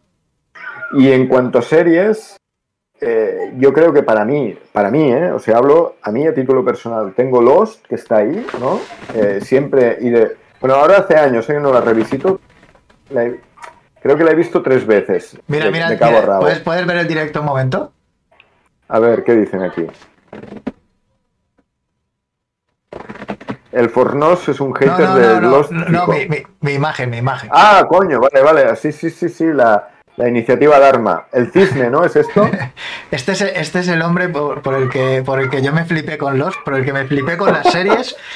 Y, y- y, bueno, y para mí mi referente como serie es Lost, lo he dicho muchas veces, que no tiene nada que ver con lo que me gusta a mí de, de- de- de la, de la de la el final de Lost es una estafa, fin. Que es- puede ser, yo siempre digo lo mismo, el final de Lost puede ser la Bueno. que quieras, pero las tres primeras temporadas, si la hubieran acabado como les hubiera dado la gana, me sobraba como cualquier, o sea, Bueno, yo ahí que, Me- que cualquier estoy- serie. Estamos quedándonos sin luz. Esperaos un momento que. Sí. Eh, a ver, es una estafa. Yo mm, voy a. A ver, a ver cómo explico esto y cómo construyo la movida. Eh, yo no he tenido una sensación de. En ninguna serie, ¿eh? Y luego, si queréis, podemos hablar de. Porque hay, series que me han, me han molado muchísimo y que luego han hecho un fade out muy bruto, como pasó con Juego de Tronos con las dos últimas temporadas. Pero eh, en el tema de los. Yo el viaje que tuve viendo esta serie no me la da. contenido Pero no, sé- no sé si ha decir, cortado. A ver, eh, decidme si se le corta el audio o, Hola, es- hola. solo, o solo son. pro- si, os- si vosotros lo escucháis bien o es problema solo Hola, del. Discord, ¿eh? A ver si me lo dicen ellos. ¿Se Es que a veces se, se me corta, pero creo que en el directo se escucha bien, ¿eh? Sí, sí, yo te escucho, pero hay momentos en los que pones ¿Sí? a hablar que a lo mejor se, se, se para al principio de las frases, pero creo que es por, por, el, por la conexión, ¿eh? Vale. Bueno, pues lo que, lo que Sí, lo comentaba, al final es un tema de, de- sensación, ¿no? Es decir, lo que yo disfruté viendo capítulo capítulo de esa serie no me lo ha dado. No, no ha habido parangón, no, no ha habido serie que, que me lo hubiera dado. Eh, obviamente, eh, hay cosas que el final no cierra correctamente, pero es que os lo digo con el. Es decir, a mí el final me parece un final que cierra, cierra. Hay cosas que quedan muy bien cerradas, hay cosas que quedan en el aire. A mí el tema mitológico del final a mí me moló. Y, ya te digo, el viaje, el, trabajo con los personajes, el tema de los flashbacks, el desarrollo es, para mí es brutal. Y bueno, si al final hay cosas que no quedan redondas, pero mm, eh, porque me da igual. Es decir, yo, considero que, para mí. que es, la frase, que, me da igual. O sea, yo con lo que disfruto con, con la serie hasta, hasta ese punto, me, da igual lo que pase. Y, y hay finales mucho peores. Es decir, ya os digo, yo para las dos últimas temporadas de Juego de Tronos la, la serie para mí, hasta la quinta creo que fue, hasta que estalla la catedral con el fuego valirio y demás, para mí fue brutal, ¿no? Es cuatro o cinco temporadas. Y luego, y, habiéndome leído cuatro novelas de las cinco o seis que tienen, eh, las dos últimas temporadas para mí no, no, no, no. Se transformó en otra cosa esa serie. Eh, pero bueno, demonizar una serie por una temporada, oye, no pasa nada. Y yo era del que me levanté para ver el último episodio en directo. También es decir que con una relectura se disfruta más. Eh, pero bueno, mm, los haters de los los entiendo, los comprendo. Al fin y al cabo, un, día, un, día personal, hacemos una charla solo de los. Solo los. Sí, si queréis, tengo libros. si queréis, me entreno, ¿eh? O sea, no hay problema, no hay problema. Y es una excusa para volverla a ver, que ahora hace años que la tengo aparcada. Yo, yo llevo tres veces enteras. Ah, pues mira, estamos empatados, ¿eh? Ahora me tienes que. Ahora una, más difícil, pero solo me tienes que decir una. Bueno, la serie me la has dicho. Una película. Sí. ¿Con qué te película Una peli. ¿Qué, película qué? ¿Qué No, una película. ¿Cómo la pregunta? Una peli. Buah. Muy difícil, ¿eh? Mm. Mira, por decir una, me quedaría con uno de los nuestros de Scorsese. Vale. Vale, es que por eso lo, hago difícil, porque primero pregunto por todas las referencias, pero, ¿sabes? Quiero que a alguien le, mm. cueste que, se quede con una. Yo, por ejemplo, diría la que no es mi preferida, pero diría otra, por no sé, por, por el completo al final. Vale, eh, sí, sí, sí. ahora pasamos otra vez a cosas poco más normales. Bueno, normales en, cuanto al, contenido de la charla. Eh, ¿Cómo ves tú la diferencia de nosotros eh, estar en una ciudad como Tarragona en la que tenemos pocos recursos como bueno, localizaciones al final lo que son naturales, sí, pero localizaciones en las que son a, grandes platós, grandes eh, espacios como para grabar? Por ejemplo, yo he tenido bastante complicado, por ejemplo, trabajar en según qué sitios en Tarragona luego viene la típica marca de compasta o la típica producción y no tiene ninguna dificultad. También en el rollo de los alquileres no tenemos como ningún rental aquí bueno y hay que ir siempre a Barcelona. Eh, se nota el, estar en una, aunque estemos a, una hora de Barcelona, que al final te cuesta nada y menos, pero joder, una cosa que podría ser la inmediatez de necesito esto y en 20 minutos lo tienes o en media hora, ya es el pegarte el viaje a Barcelona o en las localizaciones. Sí. A, ver, quizá en esto podéis hablar con más propiedad los que os dedicáis plenamente al tema, ¿no? Pero yo entiendo mm, que todo tiene pros y contras y en este sentido los contras los has dicho tú, ¿no? El hecho de que estéis a, cierta distancia de la, de la ciudad donde se alquilan los recursos, por ejemplo. Eh, pero creo que pueden haber ciertas ventajas en el sentido de que quizá la gestión con, por ejemplo, la administración pública para, o, sí, bueno, la administración pública para, para la gestión de, las locas y demás, el hecho de que estéis en una ciudad más pequeña quizá facilita el trato. Hostia, pues ahí te, voy a, cortar y te voy a decir que, que, joder, es una mierda de burocracia, ¿eh? Para mí, eh, o sea, creo que, muchas veces eh, es demasiado enrevesado y demasiado complicado para hacer, para poner un, trípode, para poner un punto de luz en según qué sitio, eh, que dices, tío, pero que tampoco, que no sé, creo que, que yo lo entiendo, que tenga que tener todo un proceso y una, y una burocracia, pero a veces es demasiado complicado, ¿eh? O sea, como que, que decimos, tío, que por ejemplo, por ponerte un ejemplo simple, eh, yo necesito hacer esto en esta calle porque la luz eh, da exactamente por ahí y quiero poner un foco en el otro lado. Vale, si me va a tardar seis meses en hacer un videoclip para eso, seguramente mi cliente no va a querer hacerlo dentro de seis meses porque lo quiere hacer ya y porque seguramente dentro de seis meses pues eh, no va a estar donde yo quiero el sol, por ejemplo, o yo ya estaré a otra cosa. O sea, yo si me tarda tanto la burocracia en que yo pueda poner un punto de luz en, en una acera, me va a hacer que pierda un trabajo. Ya, ya. Pero, ¿no crees que esto es indistinto del hecho de vivir en una ciudad pequeña o en una ciudad mm, grande? Es decir, que la burocracia existe en cualquier tipo de... sí, pero es que, por ejemplo... de papeleo. Sí, pero por ejemplo, me fui a un pueblo, eh, eh, hablé con, la, con el alcalde o con la que llevaba el, y le dije, me gustaría hacer una cosa en esta calle y me cortaban la calle al, al, fin de semana siguiente. ¿Sabes? Que, pero que tampoco quiero decir, vale, sí, era un pueblo, pero bueno, que, que, que, es Tarragona, que no es Nueva York, que no es la Quinta Avenida, esto para cortarla, ¿sabes? Que solo te estoy pidiendo un, un, espacio. Creo que a veces es excesivo eh, no sé cómo, cómo, lo tramitará cuando viene Netflix y le dejan todo el puerto, viene Lamborghini, pasa el Lamborghini por el medio del, del, puente elevadizo y, se graban ahí unas imágenes con, con helicóptero o con lo que quieran o con los drones. Pero no sé cuánto les costará, pero yo creo que para, para, o sea, para el final, para el proyecto que voy a hacer, creo que, es excesivo lo, que, lo que me obligan a hacer, ¿eh? mi opinión.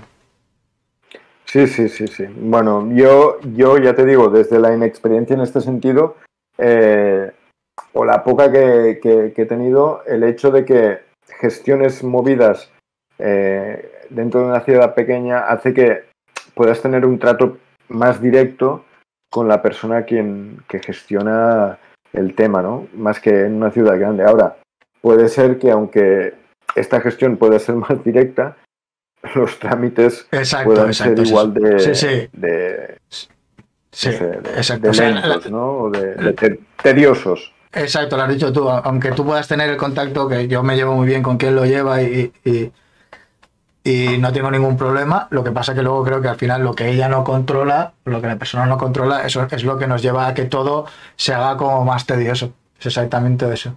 ¿Cuál crees que son los errores más comunes que ves tú que, como, como las personas que hemos estado ahí o que empiezan a salir de ahí del grado, de ¿qué, cuál, qué, errores crees que son los que más cometen? Hostia.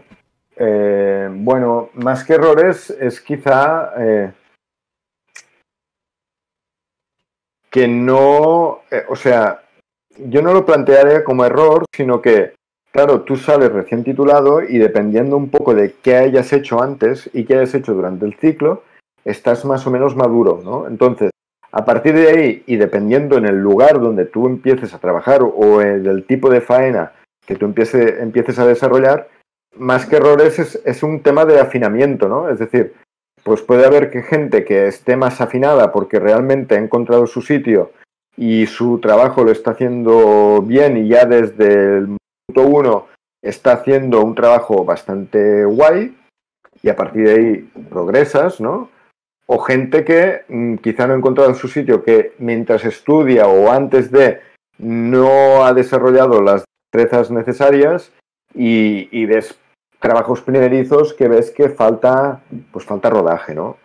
Es decir, más que errores, eh, yo lo vería así. Y luego que hay un, hay un volumen relativamente grande de gente que no todo el mundo se dedica después a, la realización o a la creación de contenido. ¿Cómo, ¿Cómo, más o menos el porcentaje? yo, yo, lo digo, por ejemplo, de mi... O sea, por ejemplo, de, de, mi, de la gente de mi clase, que no sé si éramos 25 o así, creo que estamos activos, eh, diría que 3. ¿Seis? ¿Seis? Bueno, está, a ver, lo estoy diciendo de memoria, pero estáis... Bueno, es que tampoco quiero, quiero decir nombres, pero mm, no sé, es que ahora estoy, estoy viendo vuestra orla, eh, tío. Pero, la camada, la camada de los cachorros. La camada. Eh, a ver, que yo sepa, es, Alex, eh, Alan. Eh, no sé si sigue haciendo el. No me acuerdo de cómo se llama, mira, imagínate, si es muy malo para los, para los nombres. El, el que era así más mayor que tenía la, la, productora ah, de. El Pelaz, que yo no sé nada más de él, porque imagino que con el problema este del COVID habrá tenido problemas con lo de las bodas y habrá bajado la faena.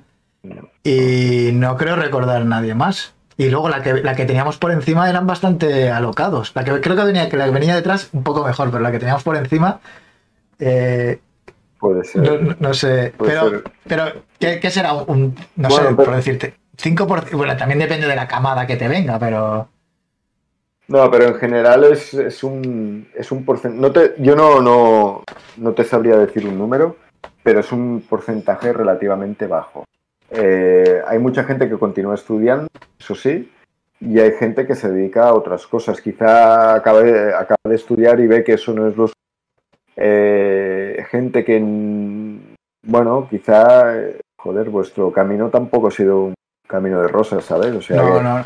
Eh, entiendo que haya gente que o por necesidad no pueda. claro. Eh, yo qué sé, hay muchas hay mucha casuística, ¿no? Sí, pero que no es Perdona, perdona, Didi. No, no, que nos cortamos. Que digo que también, eh, también influye en, la, en, cada persona y en lo que se haya encontrado al salir de ahí y en las posibilidades que haya tenido, la suerte o, o, cómo se le haya puesto el tema. Porque también creo que, no sé, no sé, me, da la impresión también yo, yo, como que fui un poco de rebote, porque yo en verdad quería estudiar sonido, pero lo tenía que hacer en Barcelona y me metí en el audiovisual porque vi que, que las dos cosas que podía estudiar, que una era, por ejemplo, energías renovables, eh, creo que coincidía más el audiovisual por un poco por, con, el tema que llevaba, que aún seguía pinchando en esa época, eh, estaría un poco más relacionado. Pero yo imagino que hay mucha gente que se mete allí por, porque le han dicho que es guay, por ejemplo, que yo me pasé de puta madre, porque, porque le han dicho que puede ser fácil. Sí, porque, bueno, porque vemos, es lo que hablábamos un poco cuando ves un contenido audiovisual, ¿no? Tú ves el producto acabado y es una cosa vistosa, es chula, entra por los ojos, ¿no? Pero nos, ninguno se imagina hasta que cata, ¿no? El de faena que hay de... Entonces, mm, de faena eh, explícita e implícita, ¿no? Es decir, una es haciéndolo y luego... Y, y bueno, pues quizá, no, no hablo de desengaños, pero que realmente no lo hace, se lo saca y tal, pero que realmente no le mole querer dedicarse de esto una vez ya lo han probado, ¿me explico? Sí, sí, sí. Que el estudio es chulo y tal, pero luego, hostia, quizá yo no quiero dedicarme a esto. No sé. Vale, eh, ¿lo ves en, en, Imagino que sí, ¿eh? ¿eh? No lo sé. Por ejemplo, te voy a poner un ejemplo muy claro. Eh, la moda en, los tipos de vídeo, ¿vale? Lo que yo a lo mejor cuando estaba allí estudiando, pues tenía una, imagen de lo que quería hacer. Por ejemplo, ahora, ahora, bueno, hace unos años se ha puesto muy de moda el trabajar con aspectos de 4x3 y de, y de poner muchas cosas de VHS, que a mí, por ejemplo, esas me gustan, en la textura de VHS, los glitches VHS. Y es una cosa que, por ejemplo, a mí me mola porque me, me retrotrae a los 80 y y, cosas antiguas que veía y, mucho el rollito este ochentero me gusta, pero por ejemplo, yo cuando me, ponen tantas cosas en 4.3 y he visto tanta tele de tubo de pequeño, digo, es que yo no quiero un 4.3 ahora. No me apetece ver las cosas en 4.3. Sé que se ha puesto mucho de moda trabajar e, ese, ese formato, ir cambiándolo, pero imagino que también les influye mucho el, cambio de moda en estilos de, de, montajes o de grabaciones a la gente que, bueno, tú has visto, habrás visto un montón de, de camadas por ahí y, que a lo mejor tenían en la cabeza, vamos a hacer el tipo de vídeo que hace este y todos tiraban como por el mismo estilo. Sí, o cuando se abusaba de la profundidad de campo, Exacto. del mínimo enfoque y demás. Bueno, eh, hay modas, pero al final, si yo lo veo interesante si esto lo utilizas como un recurso narrativo. Exacto. El uso del 4.3, si está justificado eh, desde un punto de vista del lenguaje, por, mí para adelante, ¿no? Eh, de hecho, ya en, el blog de No Film School hay, hay algún enlace que hablan sobre del aspect ratio, de la relación aspecto aplicada al relato, pues el hecho de que tú trabajes en 4.3 eh, viene precedido de que tú quieras cierta opresión en la imagen, de que la composición tenga que ser de un determinado... Ya no solo un rollo retro, en terror o en intriga, ¿no? De, por el hecho de que tengas menos campo visual a, enseñar. La otra cosa es que se haga de manera porque mola o porque yo cropo en edición sin tener previsto esto, hacerlo en la prepro, ¿no? Porque la relación de aspecto te, te, te, viene, o sea, te condiciona la, dirección de arte, es lo que decíamos antes, ¿no? Entonces, yo lo veo si es un recurso con sentido, con sentido, no con sentido, ¿no? Con sentido, eh, por mí, por mí, por mí para adelante. La otra cosa es que no, no tenga ningún rollete, ¿no? Ni, ni, tú lo, o sea, al final es que tú lo veas y que no te moleste, ¿no? y luego, claro, hay, hay, un, lo que comentabas tú de la, de la, de los, de la tele antigua, es que al final los audiovisuales nosotros tenemos un referente histórico. Es cuando se hizo el Hobbit, que se rodó a 48 imágenes por segundo, y nosotros el cine, eh, eh, para nosotros el cine es frame rate bajo, es decir, 24, 25 o 30. A mí me, ves una, me metes una peli 48 y yo estoy viendo un telediario. Entonces, ver, ver, una fluidez de movimiento con un hobbit allí, yo esto no me lo creo, ¿sabes? Y bueno, yo lo que estoy notando que se está abusando mucho de grabar obturado. Eh, y hay, no sé, y pues quizá eso es porque a mí me molesta, ¿no? Hay mucha acción con imágenes demasiado obturadas, ¿no? Que lo ves todo eh, tal. Pero ya te digo, si, si es un recurso técnico aplicado con sentido al relato, bien. Eh, yo le tenía mucha tirria, muchísimo, que veía un vídeo vertical en un noticiario, me, volvía loco, pero hice, eso pasó un par de años, creo. Se hizo una realización de fútbol en la liga alemana con, con el vídeo de 6 eh, y, se emitió por la tele normal. No sé, eh, lo único que pasa es que eso, mm, eh, captar la imagen en vertical, pues condiciona un poco la compo y demás. La cuestión es que no se hagan abusos, ¿no? Y que tú tengas en todo este abanico de, recursos y que lo apliques con, sentido.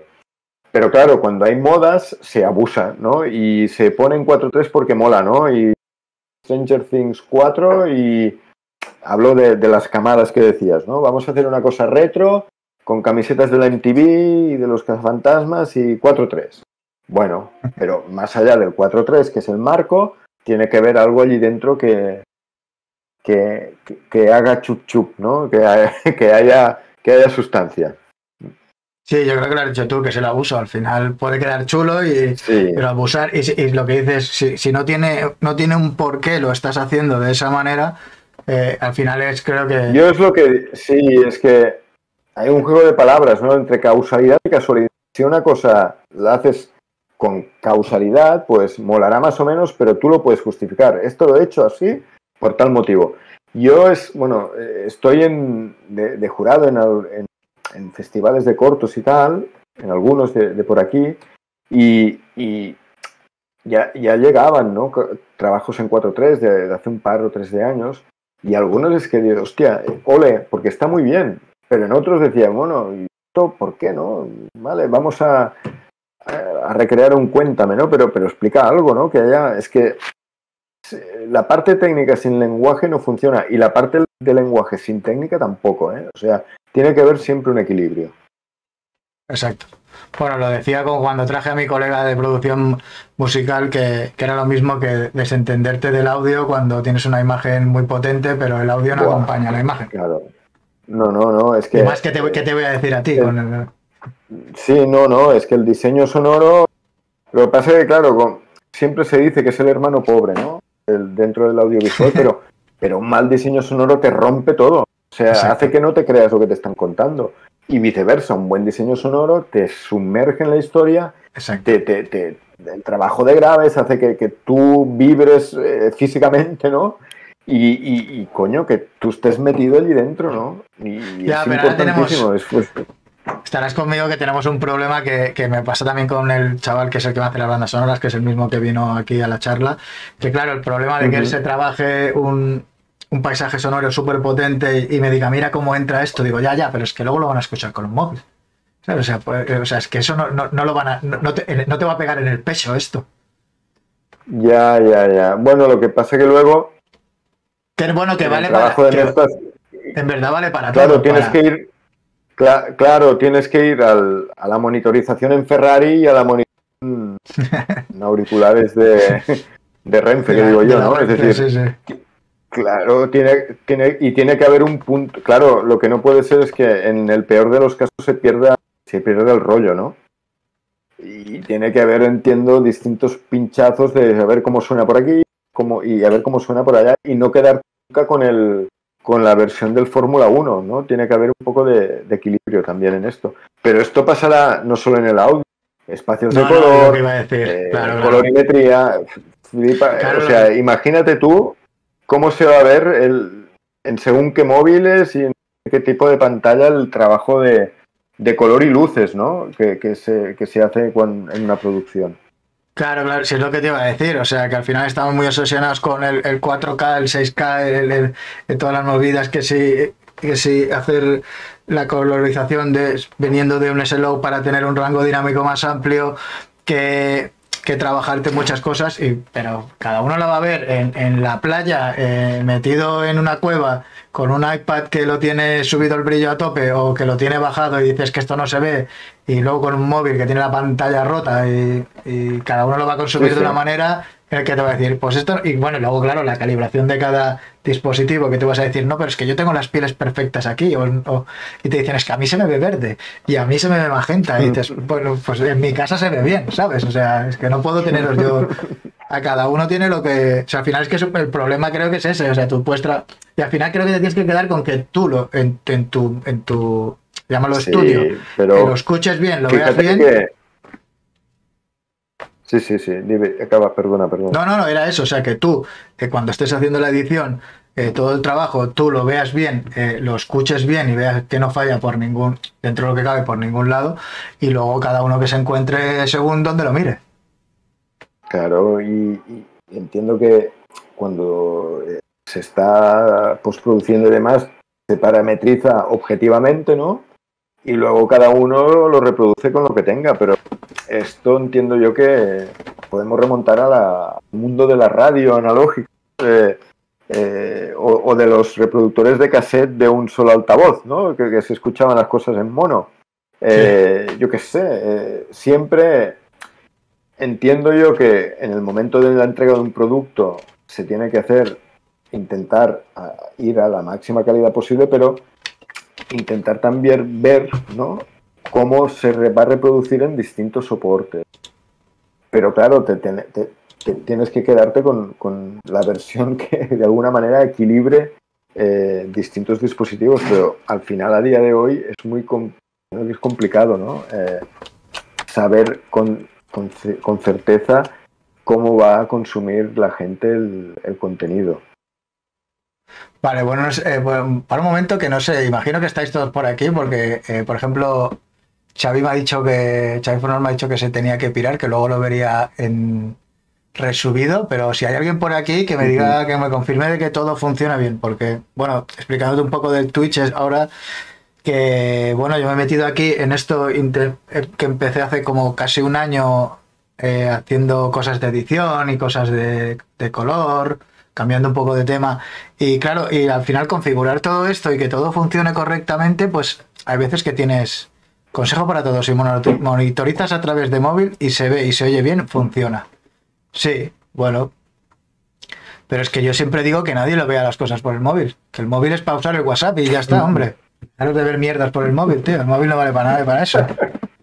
El móvil sirve para llamar y para usar el WhatsApp. Dejaros de gastaros en iPhones de mierda no sé cuánto dinero, tío, que estáis zumbados, tío. a ver las cosas contra más grande mejor, ¿o no? Fijaros del móvil. Vale, tengo, ya, fíjate, pues entonces dime, Xavi, si se escucha y si se ha cortado algo, creo que no, porque aquí no me ha dicho nada. Porque ahora tengo unas, unas preguntitas así un poco cabrón, para vosotros, cabroncetes. Y es que te voy a, te voy a decir el nombre de los... Iba medio en coña, pero va en serio. Ah, vale.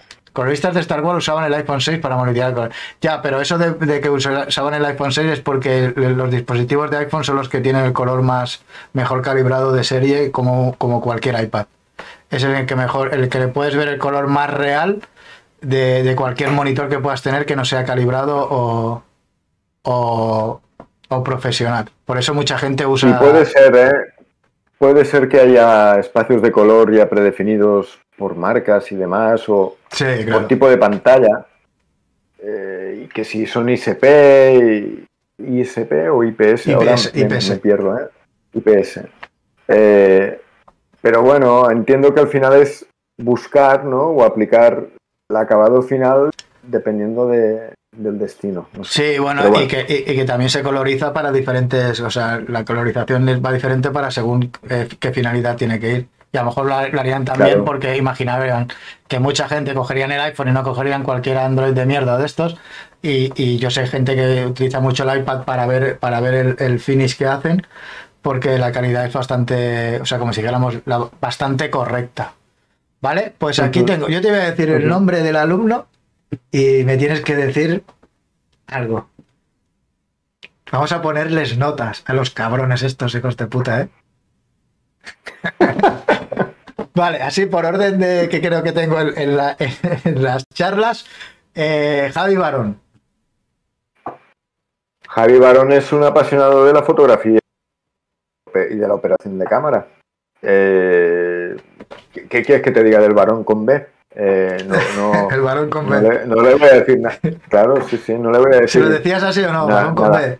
Sí, sí, Javier Varón con B. Sí, sí, sí. Y si está en la sala, que, que, se, que se manifieste. No, que se ha ido, se ha ido, se ha ido. Ah, se ha ido. Bueno, pues sí, sí, sí. Luego lo verá, me ha dicho. Sí, sí, no. Buen chaval, buen chaval. Eh, yo creo que aprovechó bien el, el tiempo que estuvo haciendo el ciclo y, y bueno, y y el tío se está, haciendo una, carrera profesional muy sólida. Estoy, bien, bien. Yo estoy haciendo muchas cosas con él ahora. Desde hace seis meses para atrás me junté con él haciendo cosillas y ahora estamos, estamos colaborando en bastantes cosillas. Vale. ¿Todos os llamáis Javi o, Alex, tío? Ahora no sé qué se ha oído por ahí. Ah, que todos se llaman Javi, Xavi y Alex, todos los que traigo, ¿eh? Vale, eh, Javi, vos. Javier Bosch concurrente. El tipo estudiaba, trabajando tiempo y, al final creo que le queda alguna cosita para, acabar el ciclo, pero, pero bueno, otro que se está que se está especializando. Contacté con él ahora unos meses, me enseñó un videoclip que estuvo haciendo eh, y bien, otro currante. Vale, seguimos. Eh, eh, mi, compañero de pupitre, Alex Romero. Pero no el profesor. Alex, Romero, Flores. sí, Romerito. Sí, pues bueno, a, él lo tuve después en la universidad. Ah, eh, claro. sí, sí. y lo recuerdo, pues, bueno, muy a la par con el Alan, ¿no? Que tenía mucha inquietud con el tema de fotográfico y, bueno, él ya tiene un camino. Yo no sé exactamente si. Sé que trabajó con el Pelaz en, hace años. Sí, pero eso es lo primero que hizo. Con sí, Flash, que eso, que eso quizá fue lo primero que hizo. Y ahora no sé, creo que está él como autónomo, si no me equivoco. Sí. O él tiene su empresa. Ahora está él como. Sí, ahora tiene como dos o tres eh, proyectos marca diferente, que una es más eh, eh, de destinada a bodas y otra es a, producto y, empresa. Claro, entiendo, entiendo que él, claro, al hacer comunicación audiovisual, pues bueno, eh, ya no es un tema solamente de, operar equipo, ¿no? sino visión más de marca. un poco más empresarial y marca, sí, sí, sí, toda la razón. Eh, de, de, contenido corporativo. Xavi Fornos, el Fornos, Fornos fue creo que, y si no que me corrija, creo que acabó el ciclo buah, en el año 2007. Si no me equivoco. es el, primer cachorrito. no, el primer cachorrito lo, fue de los que acabaron en el 2005. Y si no me equivoco, el Fornos acabó el 7, que él me habló de la saga de... Él no se acordará de esto. Eh, pero fue él quien me comentó que existía la saga de, de Saw, de, la, de, estas de Slasher, que, las primeras tenían una estética de videoclip brutales. Y, fue él quien me las, me las recomendó y bueno, realmente fueron muy, muy chulas. Y, bien, bueno, el, el, tipo tiene un bagaje muy amplio, muy amplio, haciendo documentales y haciendo movidas varias. Lo tuve también en la universidad y, y bueno, creo que tenemos una, una birra pendiente de hará unos cuatro años, tres, cuatro años, si no me equivoco, con el Xavi. ¿eh? Sí. Eh, pero bueno, espero que cuando el COVID afloje, pues la, podamos hacer con calma. Vale, eh, mire para mire ya.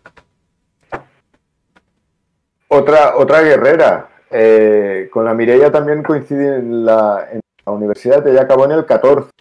Y, y una guerrera, una guerrera que va.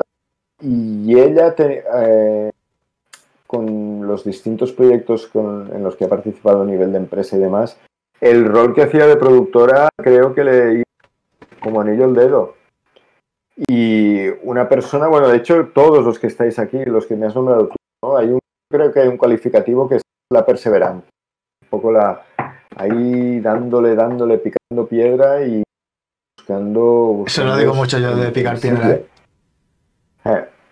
Sí, sí. Y en este sentido, pues la Mireia pica piedra guapamente. Sí, sí. Vale, lo que pasa es que ahora me molaría tener a, los más zumbados de aquí, que no me acuerdo el nombre, para que dijéramos hay cosas malas de esa peña que, no me acuerdo ni quién es. Bueno, y, y, por último, porque no ha venido nadie más así que tú conozcas, Iván Rodríguez. Pues de Iván Rodríguez, mm, de hecho podría decir lo mismo que he ido diciendo nosotros con los anteriores, ¿no? Eh, un tío que salió del ciclo o que entró en el ciclo quizá, bueno, esto no lo he dicho de los demás, pero sí que lo has dicho tú mismo, que mm, entraba por otros y, y, que después de haberlo, de haber realizado y estudiado el ciclo, eh, le metiste mucha caña al tema de la fotografía, le metiste mucha caña a la dirección de fotografía, le metiste mucha caña al tema de la edición y pospo, y aquí estás haciéndote tu sitio con, con el contenido que elaboras, que personalmente me mola mucho. O sea, otro, que persevera. otro que persevera. Vale, eh, ahora El, primer chico que vino, que es David Sánchez, que es un colega filmmaker que lo conocí por redes sociales, que me llevo muy bien con él, lleva 20 años en el, bueno, es de los que más conozco que lleven, en, el, ámbito audiovisual más años, eh, es, poco menor que yo, pero lleva ya 20 años, eh, se le ocurrió la brillante idea de que todos los que pasaréis por aquí me, me hicierais una pregunta a mí, para que yo luego en un directo en el que solo estaré yo, me preguntaré yo a mí, o sea, me preguntaréis a mí, y espero que estéis todos por aquí haciéndome, troleándome un poco. Pues yo tendré que responder todas las preguntas que me habéis hecho. Yo haré un vídeo y volveréis a. y las iré respondiendo. Ahora te toca a ti la pregunta, pero claro, te, al ser la de los últimos, pues te tengo que decir las que ya me han dicho para, que no las repitas, ¿vale? Y así te voy a, meter un poco las que me han dicho, ¿vale? Por ejemplo, eh, por, ¿por qué me metí en el mundo de filmmaker o en el mundo audiovisual? Otra sería elegir una película para ser yo el director. Eh, otra, recordar una buena experiencia audiovisual. Eh, si me molaría dirigir habiendo escrito el guion y si tengo como alguna fecha de me gustaría hacerlo dentro de dos años. Continúo. Estar dispuesto a cambiar el estilo de vida sin tener nada estable por ser director de fotografía. O sea, como un poco irme a, la locura y solo por ser director de foto. Eh, una anécdota graciosa. ¿Con qué director de cine me gustaría ser director de fotografía? Eh, dentro de 15 años, si me veo en el sector audiovisual, eh, ¿Cuál es el objetivo que creo yo profesional y en cuanto a personal de, esto, o sea, de, la profesión? Evento deportivo que me hubiera gustado estar y que me gustaría. Esto es más un colega que traje de Dazón, que hablamos más un poco más de deportes y de aplicaciones deportivas. Eh, luego la de Mirella fue pastilla roja, conocimientos de, lo que tengo ahora con 18 años, ¿vale? Y pastilla azul eh, con 18 años y a lo mejor pues una de las pasiones que tenía con 18 años que podría haber sido eh, ser piloto de rallies o, ser eh, eh a nivel, a nivel top. Si, la, si las ¿cuál, ¿Cuál elegiría? Muy Matrix todo. Eh, luego otra más técnica, que la relación de cámaras que he tenido desde que empecé hasta ahora y con cuál me gustaría trabajar. Y, del pasado, ¿qué cambiaría para el futuro?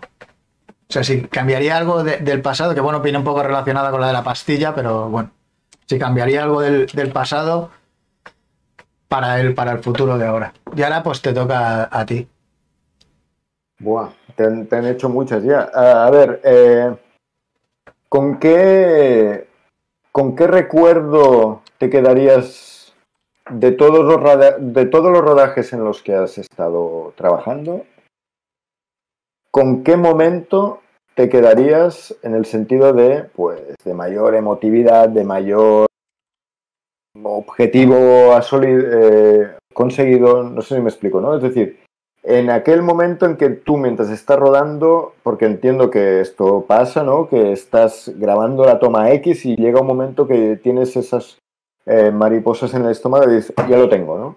Eh, ¿Con qué rodaje te quedarías? ¿O cuál es el momento que recuerdas eh, que, te, que, que te haya, que te ha llegado más, más adentro, ¿no? Independientemente de que hayas sido profesional o menos profesional. No sé si me he explicado. Sí, pero en, en rollo para bien, o sea, que me, que como me, que Sí, me auto... sí, claro, claro. En el sentido de que tú lo recuerdes, ¿no? Eh, como el momento de- del shooting, ¿no? Eh, más chulo.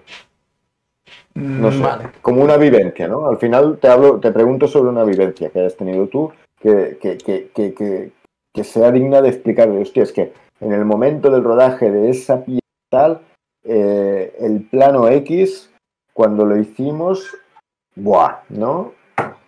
No O sea, pero no- ¿sabes, no lo que me pasa a mí muchas veces? Eh, cuando estoy grabando cosas, o sea, el, el 80% de las veces cuando estoy grabando cosas digo, esto es una mierda. ¿Sabes? Digo, digo no encuentro, no veo nada así guay, ¿sabes? Eh, y hasta que no, llego a no casa. tenido la, la- la intuición de, hostia, este plano Sí, sí, que- o sea, Por el contrario, luego, ese 20%, o sea, yo, yo lo veo mucho en los trabajos que hago, que digo, el 80% digo, esto no me gusta. Y hasta que no veo a casa y lo reviso bien, digo, vale, está guay, está bien. Pero pocas veces me Bueno, pasa pues si que... quieres trasladarlo en el visionado, si no es en el set, en el visionado No, no, porque en, posterior, ¿no? en el, en el set, en el set también me ha, me ha pasado. Que, que creo que son las, como las menos veces. Entonces, cuando yo en set veo, digo, esto está de puta madre. O sea, yo ya sé que no, cuando lo visione, lo voy a confirmar de que está de puta madre. Pero como normalmente, como siempre, como soy demasiado autocrítico siempre conmigo mismo, creo, eh, siempre tengo Pero como. no tienes la sensación a veces que cuando estás con un equipo de trabajo y a veces se intuye de que todo está en armonía y cuando se dice el corte dices, hostia, nene, esto han dado. Sí, ¿sabes? sí, sí. No, sí. no, Pero quizás es- son es- las. es- no sé. Sí, entiendo lo que dices, pero, pero normalmente eh, suelen como, como, ser, como ser las que menos, ¿eh? no, no sé, me, me cuesta encontrar ese, Vale, ese de vale. momento, ese feeling de, de decir, de meterme tanto y decir, hostia, esto, esto está siendo... Sí que me pasa, con algunos planos me ha pasado y imagino que, que no hace mucho que, que es, que es lo que he sentido más cosas así, porque imagino que antes como me costaba más llegar a- al, al punto que quería y ahora cada vez me cuesta menos. Vale, pues ahora vendrían ya. las anécdotas y voy a decir y voy a hacer yo una con- contigo eh, que creo que la recordarás. Aparte ho- hoy se lo de- hablando con mi padre le he dicho voy a hacer la charla con un profesor mío. Digo, ¿te acuerdas de pues que yo una vez cuando estuvimos eh, haciendo el créditos de síntesis se llamaba que hacíamos los documentales, ¿no? Sí, Los, expo- los sí. exponíamos en de los, de los DJs, el André Vincenzo, ¿no? Sí, sí, sí. ¿Hiciste Este tú? hace poco hice, hice una revisión de él por aquí, por Twitch, viendo las, las mierdas que habíamos hecho. Eh. Me acuerdo que cuando fuimos a ver la... ¿Cómo, cómo se llamaba aquello que está eh, donde la catedral, cuando entramos por, por la Avenida Cataluña, donde los, donde los visualizábamos allí, donde los A reproducíamos? la, en- a la antigua audiencia. Exacto, allí. Eh, vino mi padre, mi madre, y claro, y le y claro, eh, yo tengo una, una manía que es, que es, viene pegada, creo, por mi madre, que es que soy demasiado claro y digo las cosas sin pensarlas. ¿Vale? Entonces yo le dije a mi madre, mira, mamá, ese es el profesor que no me, que no me ha aprobado la asignatura. Y fue, fue mi madre directa y le, y le dijo, tal y como es mi madre, que es así de clara y de sincera como lo soy yo, que a veces nos pasamos, le dijo, tú, aprueba a mi hijo. ¿No te, no te acuerdas? Me, acuerdo de lo- directamente. del comentario que hiciste tú, pero el de- lo, ¿Qué- lo de tu madre no, no, a mí no me acordaba. ¿Qué dije yo? Eso, yo no me acuerdo de eso. bueno, pero ya, entiendo que si no me acuerdo, si no me acuerdo es porque ya se sobreentendía de que la cosa no, ah, vale, que, que, te tenía, que, te tenía que traer a mi madre para o algo así, te dije yo, ¿no? No me dijiste esto a mí, ¿no? Uy, ahora, ahora te he perdido. Que tú me dijiste, me tienes que traer a tu madre para tirármela aquí como, ¿no? Algo así fue. puede ser, puede ser, puede ser. Bueno, dime, dime si tienes tú algo, bueno, anécdotas habrás visto, pues que eh, yo creo que, yo me la verdad que yo me lo pasé muy bien en el grado y era un cachondeo y a veces creo que, que era un poco, eh, ahora lo veo con, pues casi con 10 años de diferencia y creo que era un poco cabroncete según qué, qué momentos y era...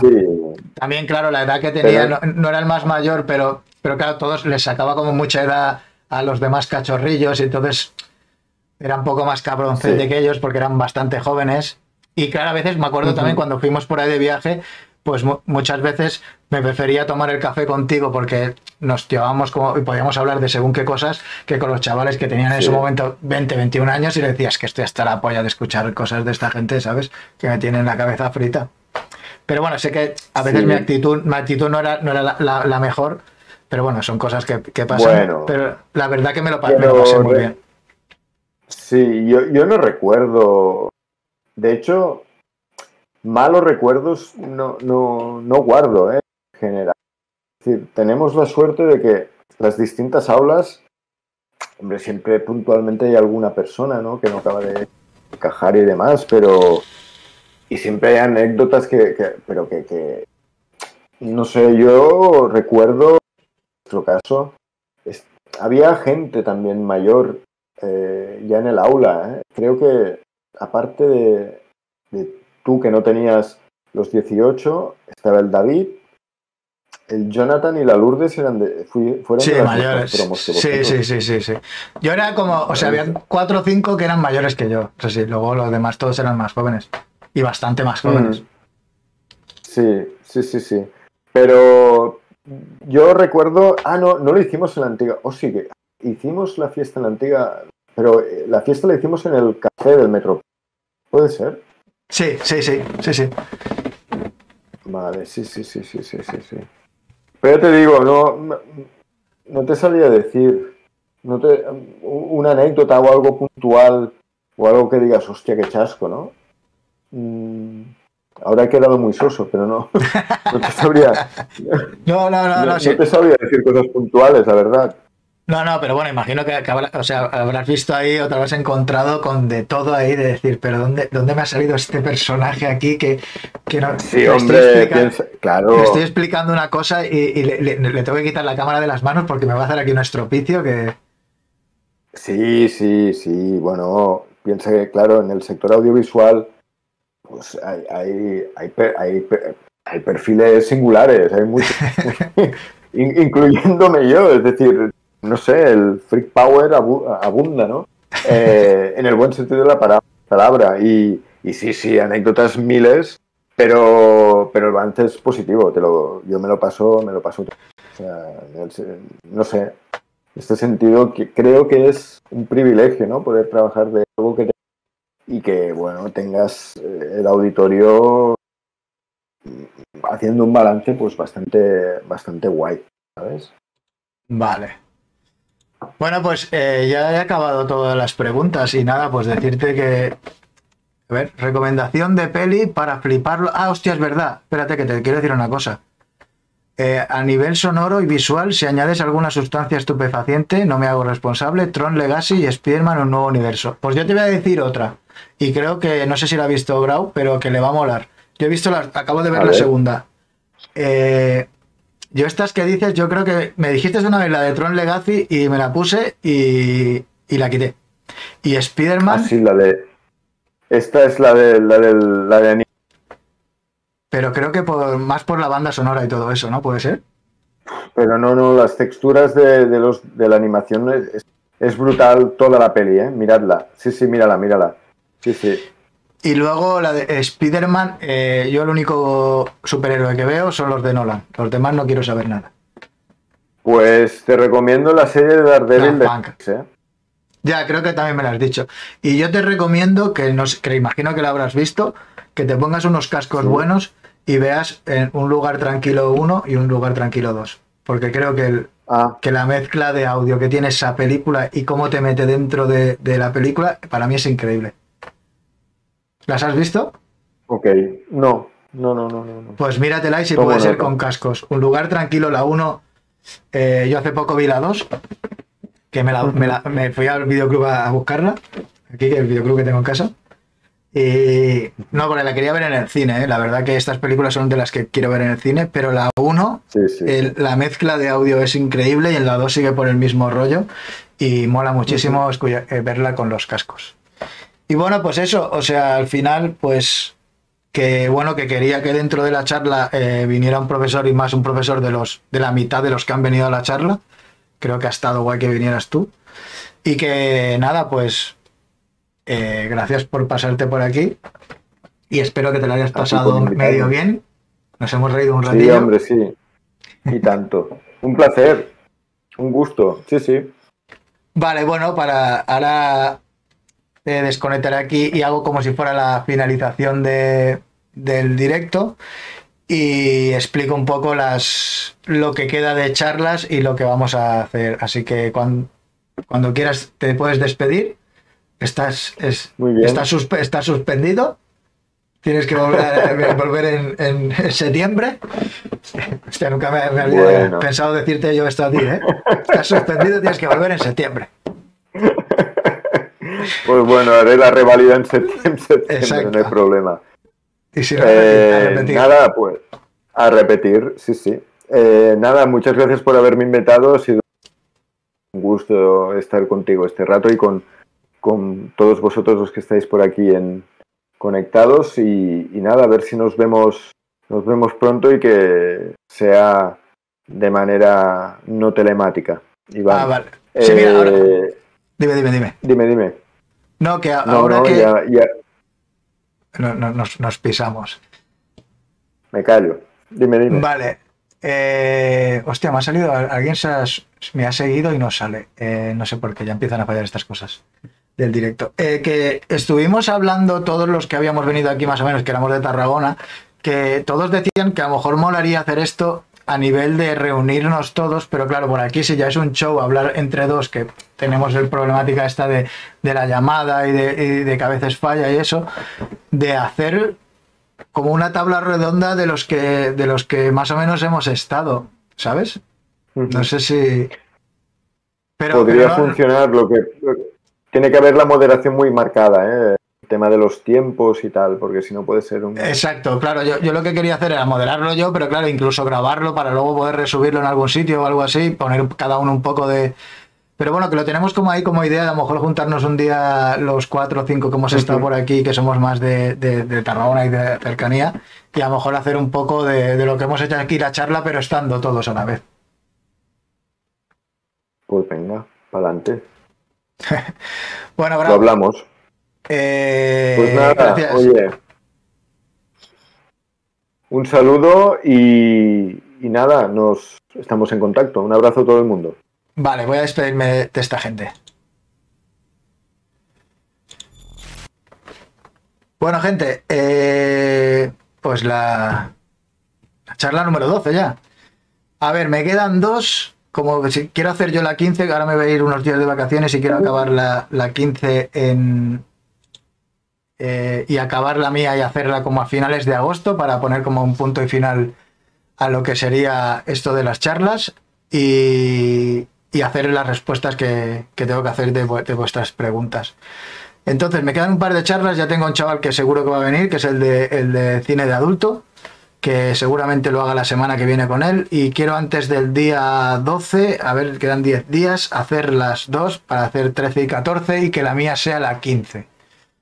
Así que nada, que lo espero que lo habéis pasado guay en esta charla. Creo que ha sido de las mejores así en rollo a, cuanto a contenido de las que hemos hecho.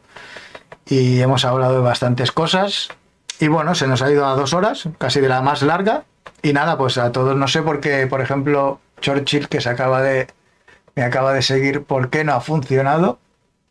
Pero bueno, son cosas que no entiendo porque a veces funciona y a veces no. Así que habrá que seguir indagando más en estas cosillas.